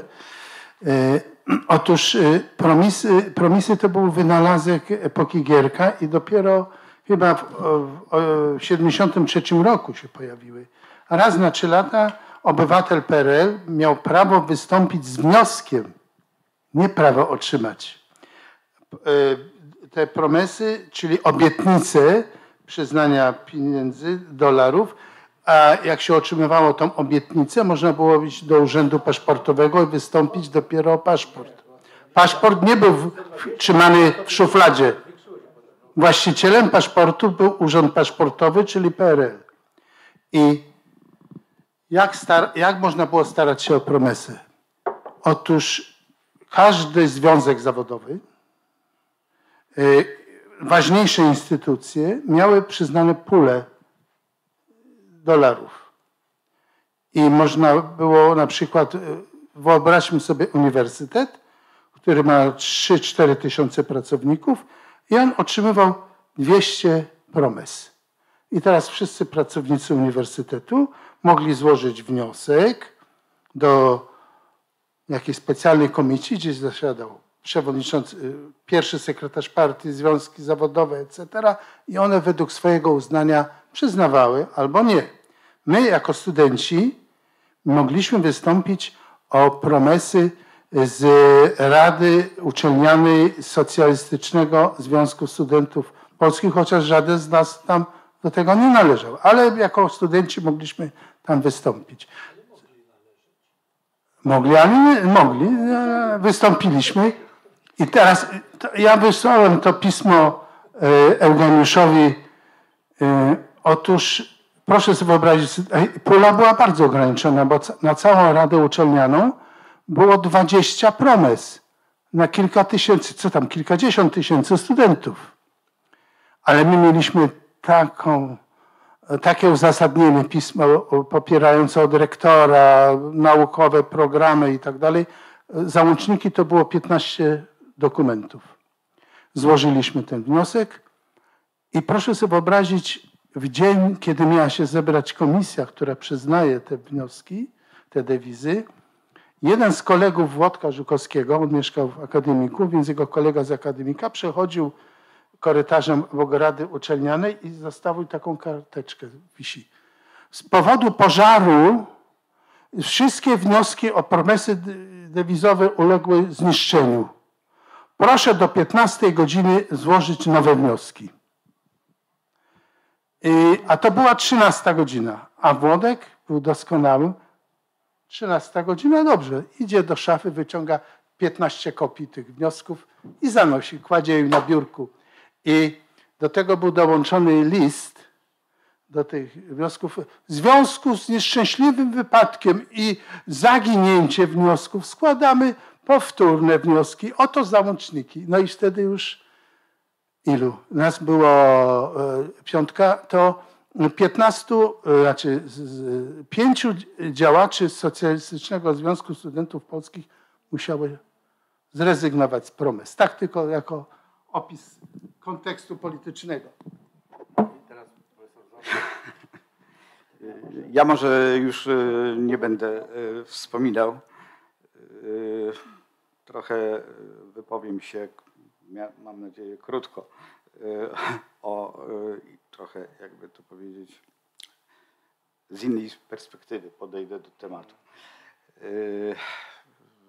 No w ogóle miałem duży kłopot prawda, z przyjęciem tego zaproszenia. No dlaczego? Dlatego, że z punktu widzenia współczesnej antropologii to zbyt łatwo można po prostu te wszystkie wyprawy zdekonstruować, a nawet zdekolonizować. Co jest dzisiaj bardzo, bardzo popularne. No a ja, ja tak, no,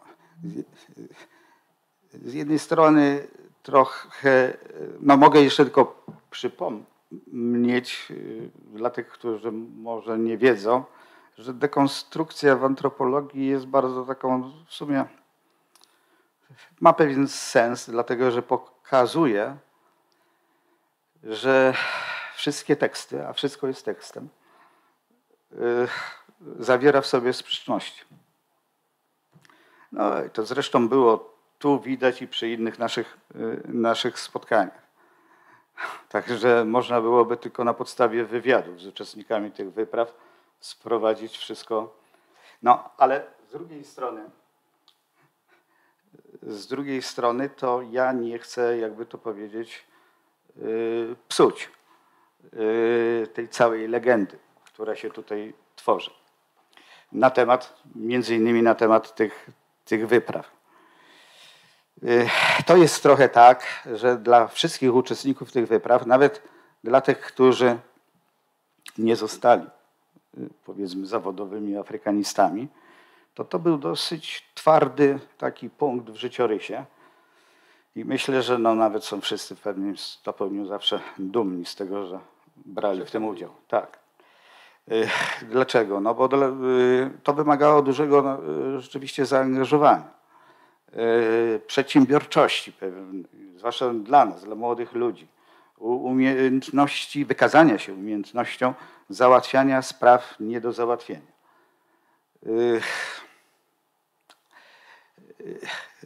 także pewnych technicznych y, zdolności, także no, umiejętności przetrwania w grupie, która w sumie była sama dla siebie. Przez kilka, przez kilka miesięcy. Bardzo ciekawe doświadczenie. To tak jak mają to, to doświadczenie załogi jachtów na przykład daleko, w rejsach dalekomorskich. No, coś w tym rodzaju. Y, i y, y, y, powiedzmy, dla mnie, dla, dla mnie również te wyprawy stanowiły ta, ta, cała legenda, no to też była właśnie wielka, wielka przygoda. Natomiast oczywiście z perspektywy celów, deklarowanych celów tej e, ekspedycji, przynajmniej tej, mówię o ekspedycji z lat 84-85, no to, to dla mnie to było straszne rozczarowanie. Zresztą druga podobnie. i nie mogę tego, jakby to powiedzieć, nie ukrywać. Nie? Yy, organizatorami tej wyprawy, można powiedzieć, znaczy wszyscy, którzy uczestnicy byli organizatorami. Każdy dołożył tego. Oczywiście kierownikiem ekspedycji tej naszej i w ogóle spiritus movens yy, w całości był Jacek Łapot. Natomiast pomysł, pomysł prawda, i jakby program tej ekspedycji, przynajmniej tej z lat 84-85, był mój. I dlatego nie mogę tego do dzisiaj, jakby to powiedzieć, yy, przeboleć, że on nie został zrealizowany. Tak Dlaczego? Dlaczego? No, ja byłem wielkim i pozostaję od samego początku admiratorem Jana Czekanowskiego. W czasach, kiedy już, jakby to powiedzieć, yy, badania typu ekspedycyjnego, jak było dawniej, yy, no, no i minęły, minęły powiedzmy te czasy na rzecz badań stacjonarnych. A jednak uważałem, że zrealizowanie nawet małego fragmentu metodą Czekanowskiego, nawet niekoniecznie na trasie Czekanowskiego, nawet już w tych górach Nuba, miało sens naukowy. I no tylko właśnie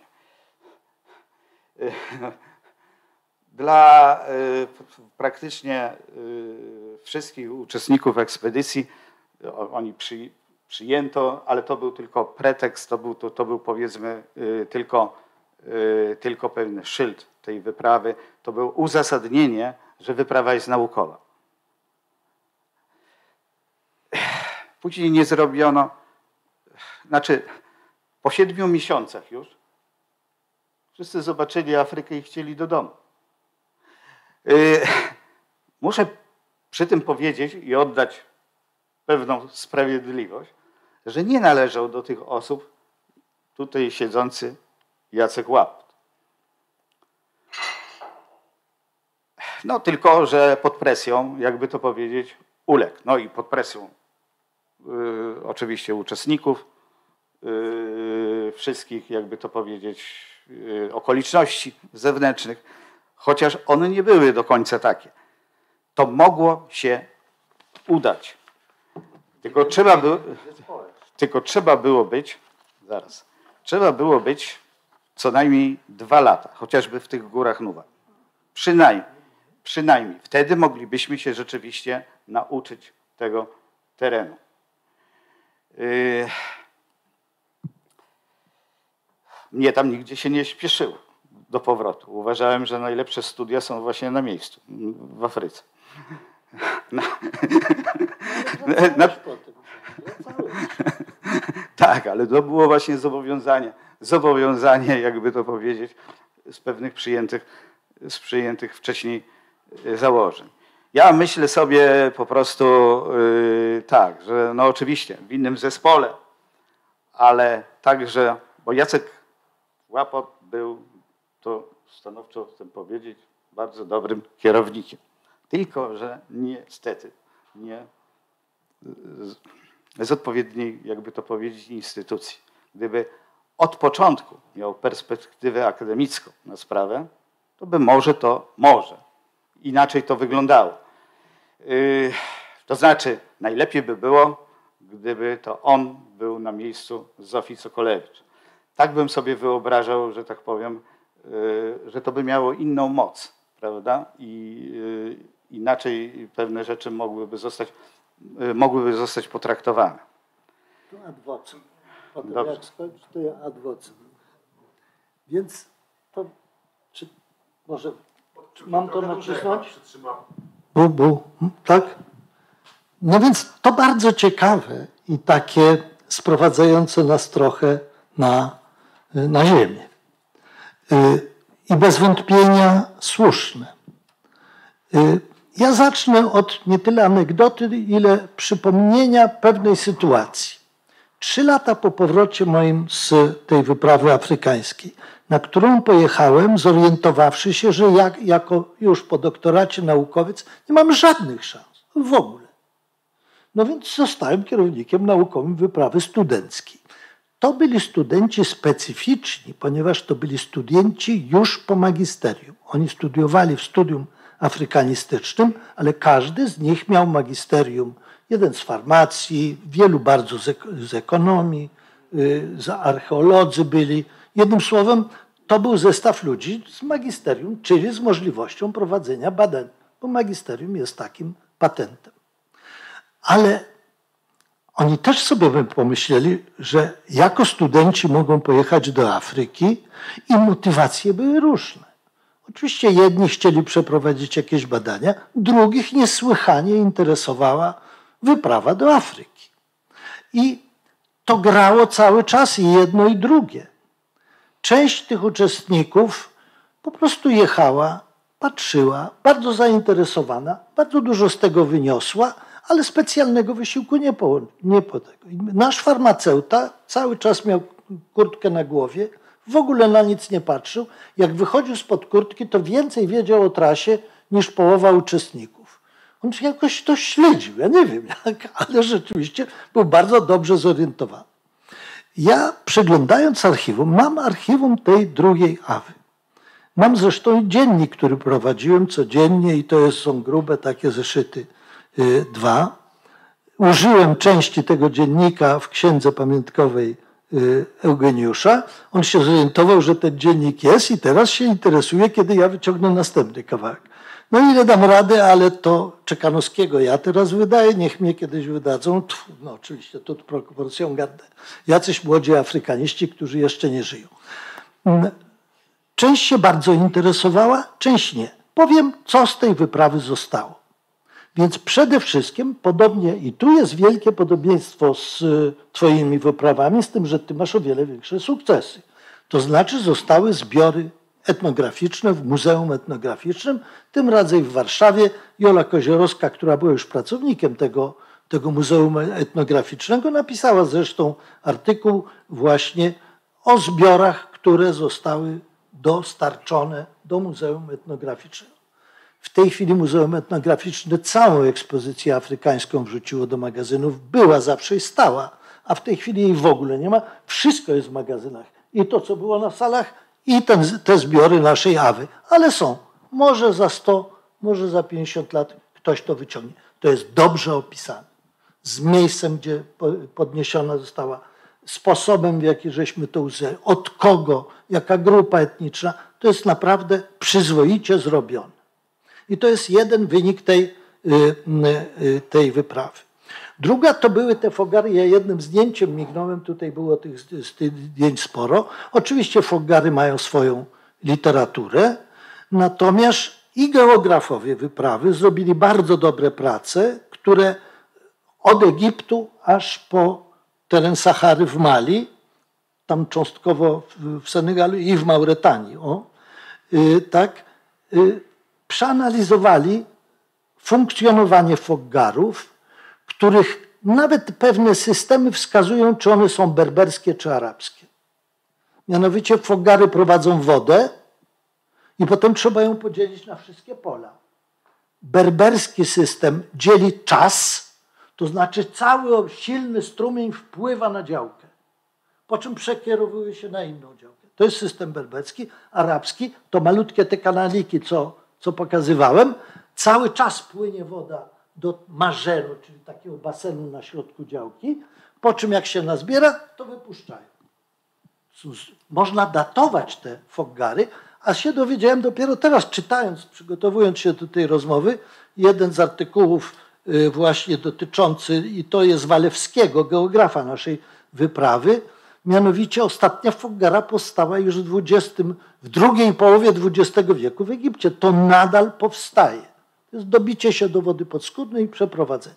Więc powstały prace właśnie również o rolnictwie, o działkach, o systemie własności nie ziemi, tylko wody, między innymi kolegi Walewskiego.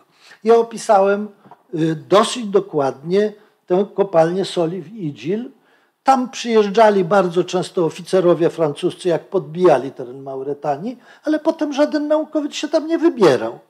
Y, I ja napisałem to po polsku, jak zwykle potem publikowałem to po francusku, to jest powszechnie cytowane, a nawet plagiatowane, muszę się pochwalić, zabierają mi moje wyniki z 70, to opublikowane w 74 roku, chociaż opracowane, no nie, bo zaraz po, po, po wyprawie i publikują wyprawy. Sami tam nie mogą dojechać, ja tam byłem, to naprawdę jest coś, mam serię zdjęć bardzo dokładnych, dokumentujących. Więc była część osób, która przespała tę wyprawę, z wielkim sukcesem i przyjemnością dla siebie i pewną korzyścią dla społeczeństwa, bo weszli potem w społeczeństwo jako zawodowcy, którzy widzieli Afrykę, to w Polsce było bardzo wtedy rzadkie, i powstała cała seria publikacji, które to publikacje y, zostaną jako wynik namacalny. No tych publikacji ja tu wyliczyłem sobie około 10-12, y, no ale nawet i to jakimś sukcesem tej wyprawy jest. Druga rzecz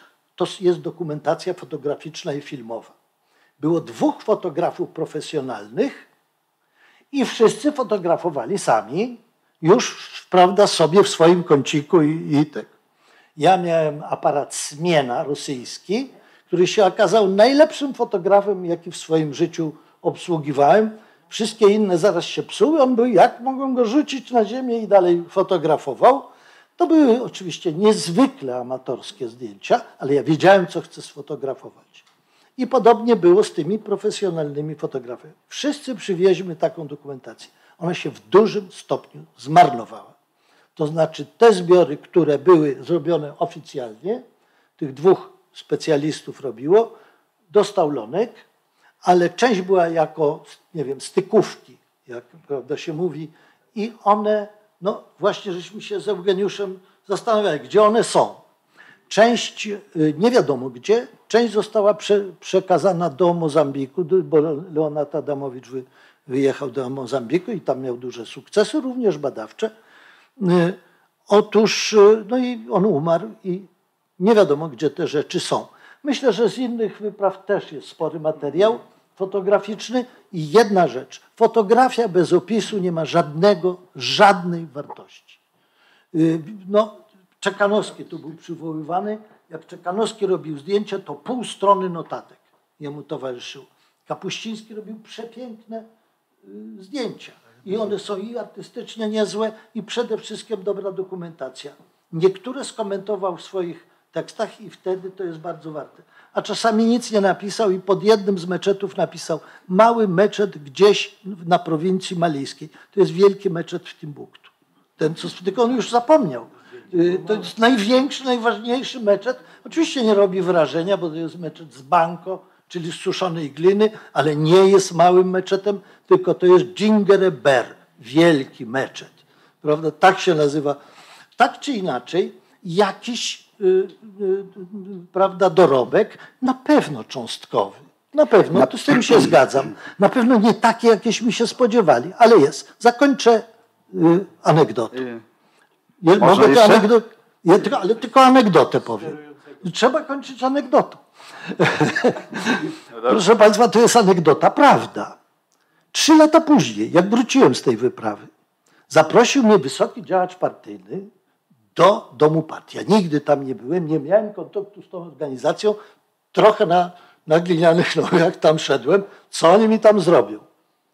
Otóż on zaproponował mi, żebym został redaktorem pierwszego tomu historii Afryki. Uradziliśmy wtedy, że powstaną trzy tomy. Wiadomo, kto miał być drugiego, trzeciego. Ten mój pierwszy powstał. Powstawał 12 lat. Potem wychodził drukiem, bo miał wychodzić w 90 roku, no a ten 90 rok to wiadomo jak był. Czyli wyszedł w 98 roku, po następnych 10 latach. No i jest jednak historia Afryki wielu polskich badaczy napisana y, przez zespół ogólnopolski, nie tylko warszawski, nie tylko członków wypraw, ale w każdym razie y, to jest jakiś dorobek y, trwały. Ale zapytałem wtedy tego, tego działacza, z którym byłem na ty, bo w jednym instytucie żeśmy pracowali. Posłuchaj, ja potrzebuję 3000 dolarów na książki. Ja zorganizuję zespół, myślę, że to będzie około 20 osób, to jest rzecz długa, międzydyscyplinarna, ale mi jest potrzeba 3000 złotych na książki. No, nie, nie, dolarów, przepraszam. Tak, prawdziwych pieniędzy. Ja teraz złotówkę też traktuję jako prawdziwy pieniądz. Trzech, trzech tysięcy dolarów. On mi powiedział tak, posłuchaj, ja studentom, a wiedział, że ja byłem na wyprawie studenckiej, mogę dać 20 tysięcy, jeżeli się uprę. A tobie nie mogę dać nic, bo ty jesteś naukowiec. I kupowaliśmy sobie te książki ze swoich pensji.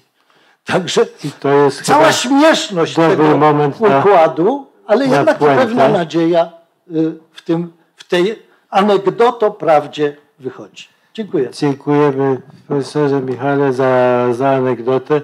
Y, zorientowali się Państwo wszyscy, że y, z wejściem profesora Ząbka żeś zmienił się profesor Ząbek, zmienił bieg testosterononego na, na taki autostradowy, po którym się szybciej myśli i podsumowuje i połyka szczegóły po to, żeby zabrać z tego jakieś e, łatwiejsze konkluzje mm, i myśli to pożyteczne też na przyszłość. Pojawiła się tu w tej rozmowie już ten wątek, o którym, o który bardzo prosiłem jeszcze w naszych przygotowawczych korespondencjach, właśnie uratowanie dokumentacji, która jeszcze istnieje. No bo no, jesteśmy w tym wieku, w którym jesteśmy jeszcze jako tako świadkami, a potem to już zupełnie nie będzie wiadomo, gdzie co ugrzęzło, jeżeli nie, nie trafi tak, jak zrobili w kochanym Poznaniu e, z archiwum imienia Józefa Burszty, gdzie są i fotografie i i teksty sprawozdań, nie wszystkich. No i Muzeum Narodowe Szczecińskie, bo materiały zachodniopomorskie. Też to wszystko jest w ważniejszych bibliotekach polskich, ale, ale dzisiaj coś, co nie jest cyfrowe, co nie jest w zasięgu myszy komputerowej, to jest prawie jakby nie istniało dla młodszych Więc stąd postulat taki tak, że jak myślimy o podsumowaniach nie tylko naszej debaty, bo one się yy, urwą zaraz, ale o mm, postulatach na przyszłość, to ja bym sugerował, żeby spróbować jednak zrobić projekt, który pozwoli scalić, digitalizować część tego dorobku, który jest y, naukowo relevantny i powinien i, i może zostać jeszcze opisany. Y, to jest jeden postulat. Drugi był podczas tych naszych przygotowawczych konsultacji y, taki, ten wątek pozyskiwania mm, artefaktów, eksponatów kolekcji. To było adresowane do profesora Łapota. Myślę, że to trzeba będzie to naświetlenie tego dalej kontynuować już yy, w kontakcie wewnętrznym naszej, naszego Towarzystwa Afrykanistycznego. Myślę też o przyszłorocznym kongresie yy, w Krakowie, Kongresie Afrykanistów Polskich. Można by tam Y, jakieś pokłosie tej naszej dzisiejszej y, zaczątkowej retrospekcji y, przerobić komunikat, który byłby naukowo relevantny. Mamy jeszcze, zakładam, że koło kwadransa na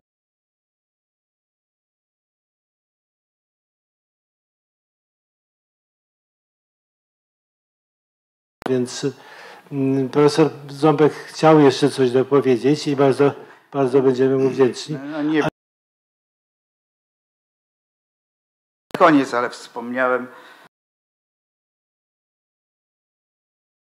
Może warto by byłoby o tym wspomnieć, yy, tak zwanym kolonialnym. No wie, bo więc te e, e, ekspedycje wpisują się w ogóle w całą działalność polską w Afryce w XX wieku, a tak naprawdę do dnia dzisiejszego w ten kontekst. Jeśli chodzi, bo żeby, żeby skrócić tą moją wypowiedź, chociaż nie wiem, czy zostanie zrozumiana. Wyprawy również jakby to powiedzieć, były pewnym odwzorowaniem yy, no, dawnych wypraw y, odkrywczych, prawda, y, eksploracyjnych Afryki. My w końcu żeśmy trochę w ogóle prawdopodobnie nie mogło być inaczej, nie mogło być inaczej, ponieważ my tu wszyscy prawdopodobnie jak siedzimy, y, wychowaliśmy się na literaturze kolonialnej. W przeciwieństwie do dzisiejszych studentów. To jest zasadnicza, zasadnicza różnica. Y, dzisiejsi młodzi ludzie nie czytają tych książek, których my żeśmy czytali. Zasługą tamtych książek było to, to one nas pociągnęły do Afryki. To one spowodowały, spowodowały y, że y, chcieliśmy tam pojechać. Natomiast po prostu w tym całym takim odwzorowywaniu pewnych dyskusji, postaw, działań, y, które były na Zachodzie i które cały czas się tutaj y, powielały w jakiś sposób u nas, była tylko chęć zaznaczenia właśnie swojego pobytu w Afryce. Było, było że tak powiem, no, pokazanie, no, że Polak potrafi, że my nie jesteśmy gorsi, że my też zaznaczamy tam swoją obecność. Tak było zarówno zarówno w, w okresie międzywojennym, kiedy były słynne plany prawda, y, kolonizacyjne, aż jest po dzisiejszy dzień y, w przypadku organizacji humanitarnych czy no, pozarządowych działających z pomocą w Afryce. To cały czas jest to samo. Tylko o ile to, to jest temat na cały wykład i może temat dyskusyjny. Ale w skrócie powiem, że o ile po tamtej stronie zawsze było to wpisane w jakąś politykę yy, gospodarczą, taką czy inną, kolonialną wcześniej jak najbardziej, a później właśnie, czy dzisiaj neokolonialną to u nas było to wszystko w oderwaniu od tego. Jest. Organizowane oddolnie. Nigdy za tym nie stało coś więcej. Nawet jak coś było, że tak powiem, uzyskiwało jakiś, jakiś yy, yy, można powiedzieć, yy, jakieś poparcie z góry, no, samo studium afrykanistyczne, prawda? Już go nie ma. Wspaniała, no, dawno go już nie ma. Chodzi, chodzi, o to, chodzi mi o to, że to był bardzo dobry pomysł. Tak. Oczywiście było, Nie no, one było słabe, ale dlaczego trwało tak krótko? Dlaczego go rozdrobniono na, na tego? Gdyby przetrwało do dnia dzisiejszego, gdyby wymieniano kadry z gorszych na lepsze, z lepszych na jeszcze lepsze, dzisiaj bylibyśmy, by- bylibyśmy mieli Yy, że tak powiem, jeden z najlepszych instytutów afrykanistycznych w Europie. Ale nie mamy. No właśnie, i to jest tak wszystko. Tak przy, w przypadku tych wypraw. W tych wyprawach trzeba było uzyskiwać te wszystkie zgody, o których mówił Jacek. I w zasadzie postawy były takie, że y, nikt w zasadzie nie był przeciw. Wtedy, w 1984 roku. No, niektórzy trochę pomagali, ale tak pomagali. O, można wymienić skądinąd znanego, bo on tu też miał też pewne zasługi, nie, z, Włodka Czerzastego. Bo y, to, prze, to poparcie yy, yy, organizacji prawda, studenckich na y, uniwersytecie było kluczowe. Od niego zależało wydanie, od niego zależało wydanie paszportów i y, możliwość, możliwość prawda, zakupu dewiz po kursie państwowym. No, ale y, nikt z tych instytucji, poczynając prawda, od naszej y, kierownik katedry, profesor Zofii Sokolewicz, przez władze wydziału, władze rektorskie, różnych urzędników, ministerstw, do których też, no powiem sentymentem, że wchodziło się o wiele łatwiej niż dzisiaj. Prawda? I to mnie, studentowi. Łatwiej mi się było dostać do, do yy, rektora jako student niż dzisiaj jako dyrektor instytutu. Yy, mimo, że go znam nawet osobiście. No i, yy, to, to, to, to, właśnie są te, są te konteksty, ale nikt z nich nie chciał, jakby to powiedzieć, wykorzystać nas, żeby zrobić z tym coś większego.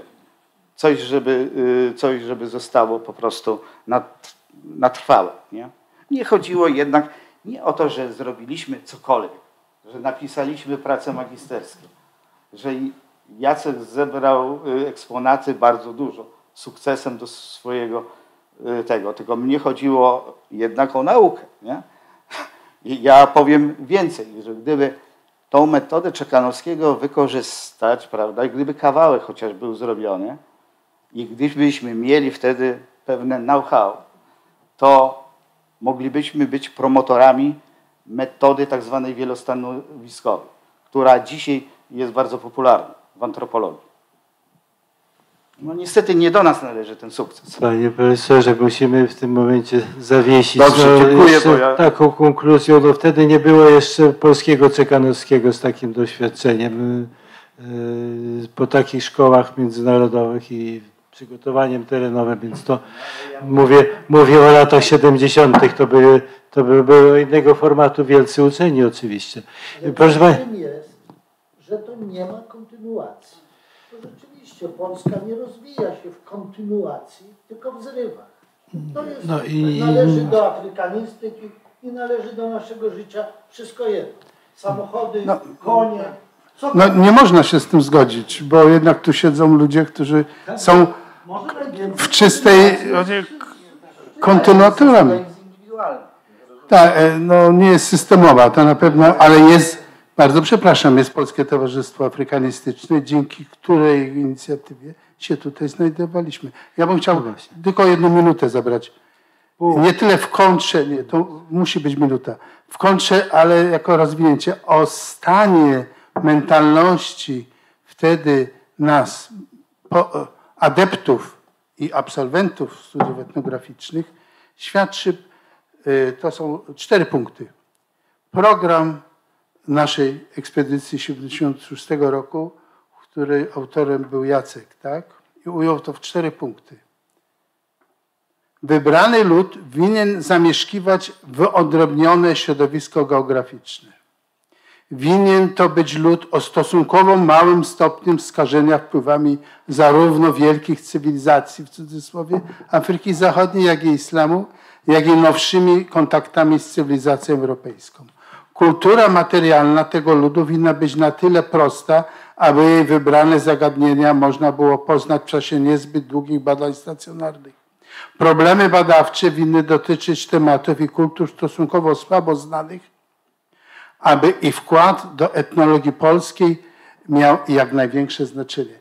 To jest właśnie, dzisiaj to by nie przeszło, ale wtedy my reprezentowaliśmy taki taki stan kompetencji. To nie, ale panie profesorze, przecież to był przecież to były jednak wyprawy studenckie, ćwiczebne i one miały y, trochę symulować badania terenowe, a nie zrobić porządne, stacjonarne, pogłębione badania, więc także to są... Badania y, terenowe były bardzo porządne, to były ja o... trzy, trzy prace magisterskie bardzo dobre, trzy doktoraty z tego powstały i dwie habilitacje.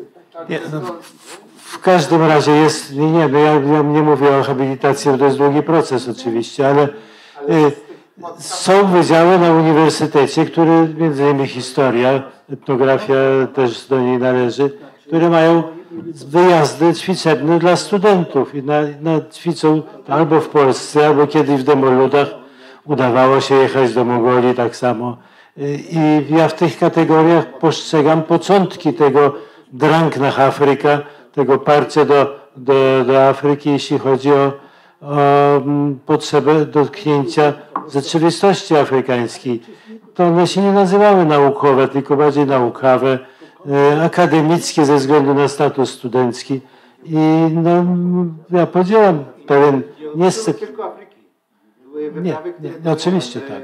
W Indiach, Ameryce Południowej i tak dalej, i tak dalej. Wtedy to był jedyny sposób, żeby można było opuścić w miarę e, legalnie e, Polskę.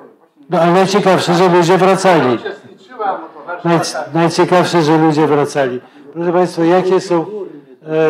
chciałbym dać możliwość wypowiedzenia się Państwu, których temat em, pochłania, zainteresował jeszcze bardziej niż na początku.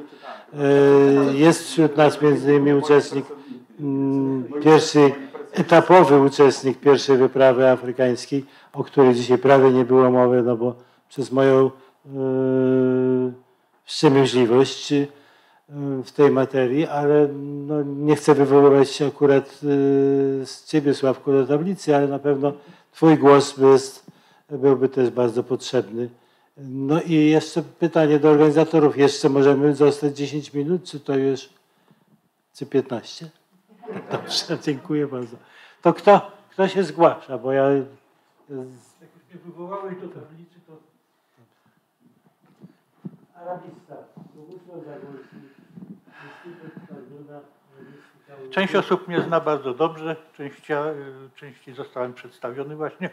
E, Tak, byłem uczestnikiem pierwszej i drugiej wyprawy afrykanistycznej, o czym e, zapomniałeś wspomnieć, ale to było ze względu na pewien stan skomplikowano-formalny e, mojego uczestnictwa. Sam? Tak, nie, ale to jest, ale to jest istotne.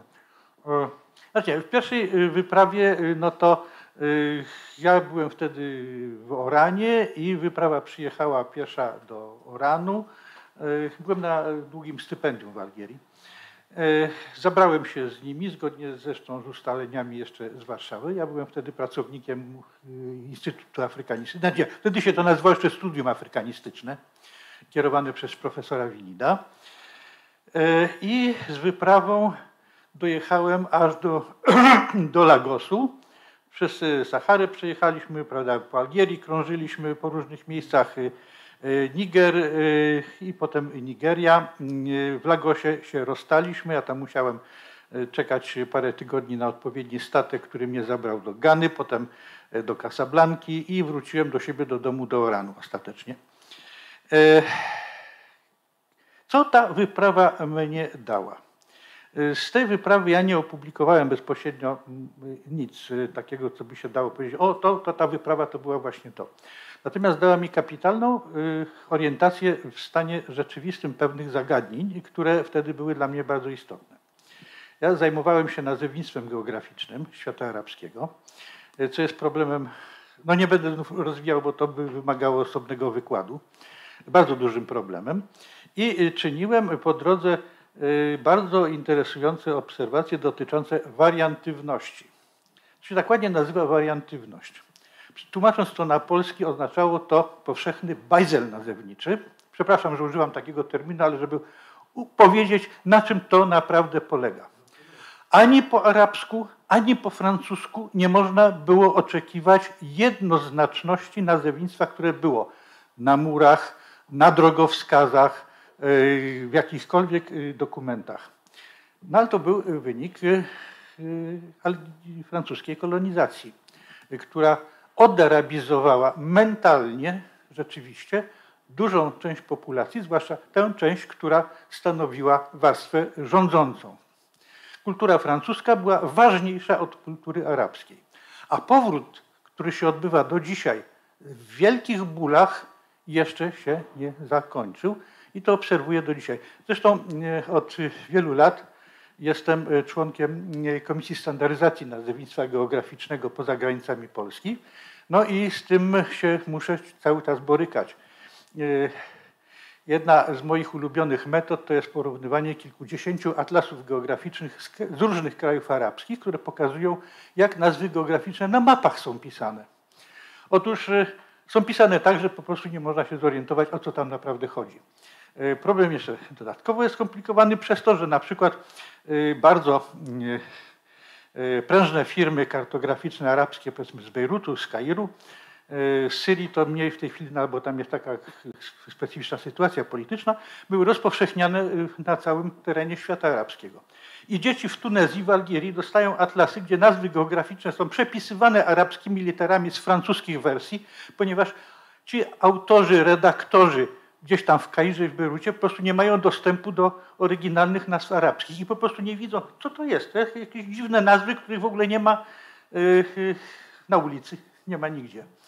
No to są rzeczy, których w Polsce my nie znamy. Znaliśmy przez krótki czas po odzyskaniu, po odzyskaniu ziem odzyskanych, przepraszam za taki pleonazm, e, kiedy nazwy geograficzne były używane przez różne instytucje państwowe, e, kolei administrację lokalną, taką administrację centralną w różnych wersjach spolonizowanych i dopiero trzeba było powołać komisję, która w ciągu paru lat sprawę rzeczywiście załatwiła. To, że ciągle się nazwy poprawia i koryguje, to jest zupełnie inna sprawa, to jest normalne w każdym kraju.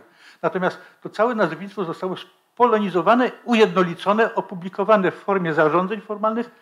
W Algierii tego nie ma do tej pory. Byłem jakiś czas temu na konferencji nazewniczej w Oranie. Dla mnie wielka przyjemność, po 40 latach znowu trafiłem do swojego miasta, gdzie mieszkałem, wiem czas, czas. I e, byłem świadkiem takiej sceny. Przy mnie algierscy Y, uczestnicy reprezentujący różne resorty autentycznie wzięli się za łby. I każdy drugiemu udowadniał, że on robi błędy. A tamci udowadniali im, że nawet w dziennikach oficjalnych publikowanych przez rząd algierski te same miejscowości są różnie nazywane w różnych aktach, bo po prostu nikomu się nie chciało sprawdzić, a każdy wolontarystycznie, w sposób zupełnie dowolny przepisuje to z francuskiego. Y, a teraz my mamy, prawda, się trzymać jakichś standardów. Których? Jakich? No to jest problem. Y, następnie miałem bardzo ciekawe obserwacje, wszystko w, ramach własnego y, y, osobistego rozwoju, na temat stosowania języka arabskiego w charakterze języka mm, tak zwanego lingua franca. Co to znaczy lingua franca? Jest to język powszechny na jakimś terytorium, który niekoniecznie jest używany i znany przez wszystkich, ale jest y, powszechnie znany przez osoby, które możemy umownie nazwać osobami kontaktowymi. To znaczy, gdziekolwiek się pójdzie, czy na bazar, y, czy do jakiegoś urzędu i tak dalej, to nie znaczy, że wszyscy będą mówili tym językiem, ale zawsze się znajdzie osoba, z którą można w tym języku się porozumieć. Mnie chodzi o to, jak daleko sięga y, wpływ arabskiej lingua franca na południe. Sięga bardzo daleko do samego Lagosu, czyli do Zatoki Gwinejskiej. Rzeczywiście, gdziekolwiek się pójdzie, po arabsku można się porozumieć. To było dla mnie bardzo duże i ważne odkrycie e, i obserwuję to już od dłuższego zresztą czasu. Również w innych terenach Afryki, gdzie, gdzie do tej pory nie miałem szczęścia być, ale przede wszystkim w Czadzie, gdzie język arabski postępuje w sposób wyraźny i znaczący ciągle. Widać to w istniejącej dokumentacji i w istniejących publikacjach, do których mam dostęp, oraz czasami w nagraniach, które można znaleźć w internecie, na przykład dysput parlamentarnych w czacie. Y, arabski nieprawdopodobny, ale... Jak, dobrze, jak zaczął nas wypraszać, wypraszać to skąd. No, no, no i zapoznałem się jeszcze też z dokumentacją opisaną z archiwami w paru miastach nigeryjskich. Wcześniej nie miałem okazji, e, a już w Algierii to na pewno. E, bardzo ciekawe właśnie dokumenty arabskie, które do tej pory czekają na opracowanie, ważne historycznie i kulturowo. Ale teraz, jak, w jakim charakterze ja byłem w drugiej wyprawie? Mianowicie miałem być członkiem tej wyprawy, nawet przygotowałem 5 minut. Co? Kto chce jeszcze mówić? Czy ostatnia osoba odda mi 5 minut?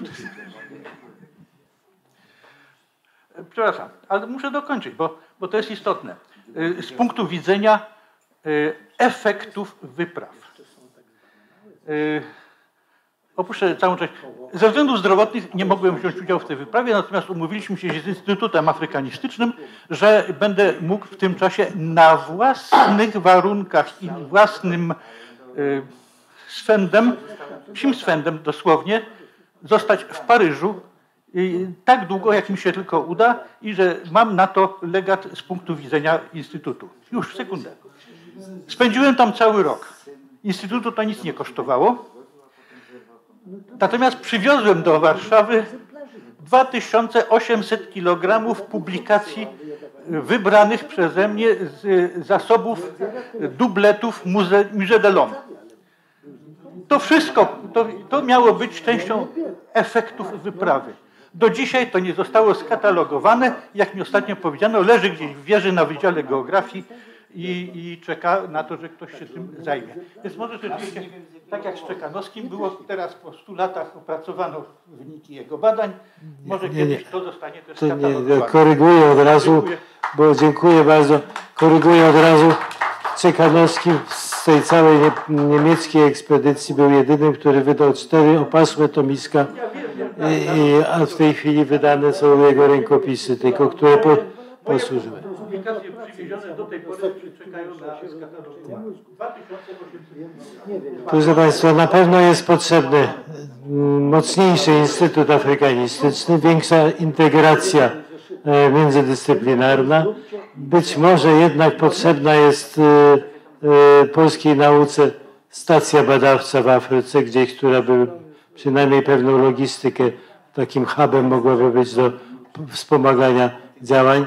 No ale to wszystko jest temat na kongres przyszłoroczny, no, a w tej chwili chyba będę musiał y, Państwu już y, wszystkim podziękować za uwagę, y, dziękować za mm, cierpliwość i tolerancję. Popadamy czasem w tak zwane to, co w niemieckiej lit- literaturoznawstwie nazywa się Ich-Erzählung, czyli opowiadanie mm, zawsze w pierwszej osobie i o sobie, ale chciałoby się jeszcze osiągnąć pomysł taki bardziej y, panoramicznej y, podsumowań. Chyba dzisiaj do tego nie dojdziemy. Kto chciałby jednak powiedzieć coś takiego, nie, nie, anegdotę na koniec, ale, ale coś, co by było konkluzją. E, requiem, nie, no, wprost przeciwnie, Gaudeamus Igitur raczej, tak, także i Recenzja ze strony młodych. Co młodym to dzisiejsze spotkanie dało?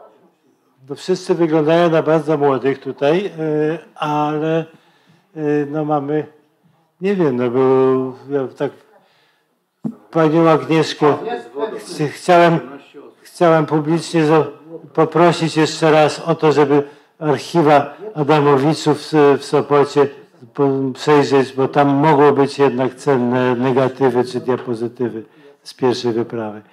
Bardzo proszę, pan os, ostatni głos, przepraszam bardzo, że jestem w tej roli prawie że wykidajły, ale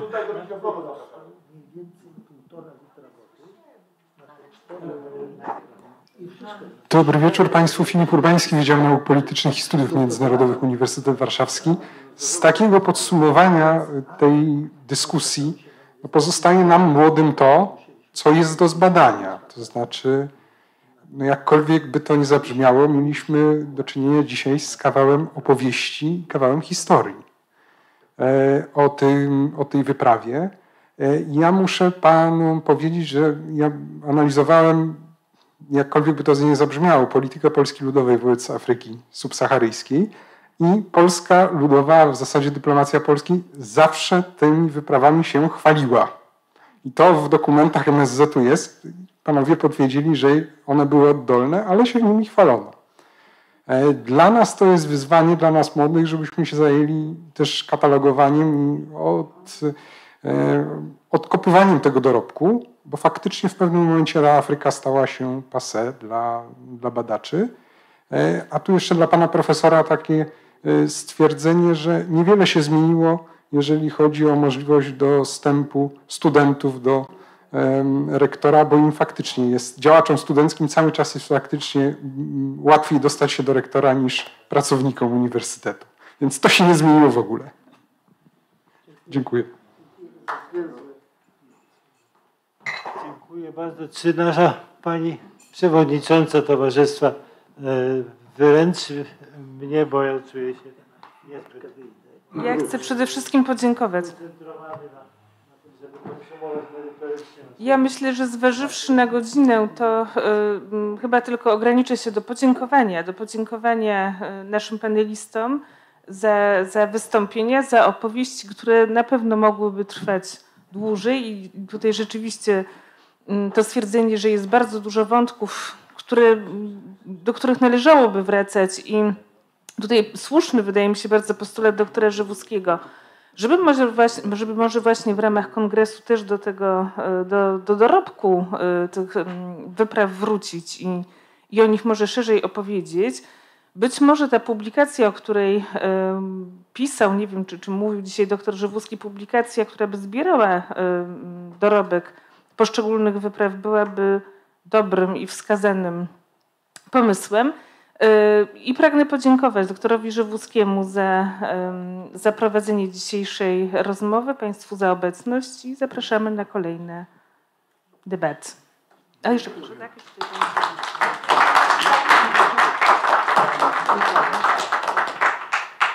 Ja może tylko chwileczkę jeszcze się wypowiem, że uważam, że zawsze warto jest e, zachęcać studentów do pracy. I my właśnie na UAMie w Poznaniu e, z panem profesorem Forbrichem odbyliśmy taką wyprawę, e, która dotyczyła bardziej takiego zapoznania nas z terenem, pokazania nam takiej perspektywy antropologicznej, z której pan profesor właśnie korzystał, pracował przez wiele lat tego środowiska Wysokiego Atlasu, właśnie Berberów. E, Też były tam, tam kanały e, takie właśnie dostarczania wody, e, takie strumienie, właśnie z, e, ze wsi do, do wsi, z każdej osady do osady i e, my tam e, na żywo właśnie mogliśmy zapoznać się z tym. Dodatkowo jeszcze z e, e, weselem e, w takiej osadzie właśnie Suktidili, e, w dosyć małej społeczności, gdzie byliśmy takimi obserwatorami w, tere, w terenie. E, I mm, myślę, że byliśmy tam w ogóle w mm, był Marcin Mielewczyk, Joanna Żurawska i Alicja Maciejewska i ja. I każdy z nas po powrocie z e, tych badań na pewno e, nabrał e, takiego szerszego spojrzenia na problematykę, która wcześniej była poruszana też na wykładach. I myślę, że zawsze warto jest uczestniczyć w takich wyprawach terenowych, także praca czy pana profesora Forbricha, czy reszty profesorów jest taka zawsze dla nas bardzo ważna i istotna, także później możemy sami gdzieś tam kierować się w tym kierunku. Także dziękuję serdecznie.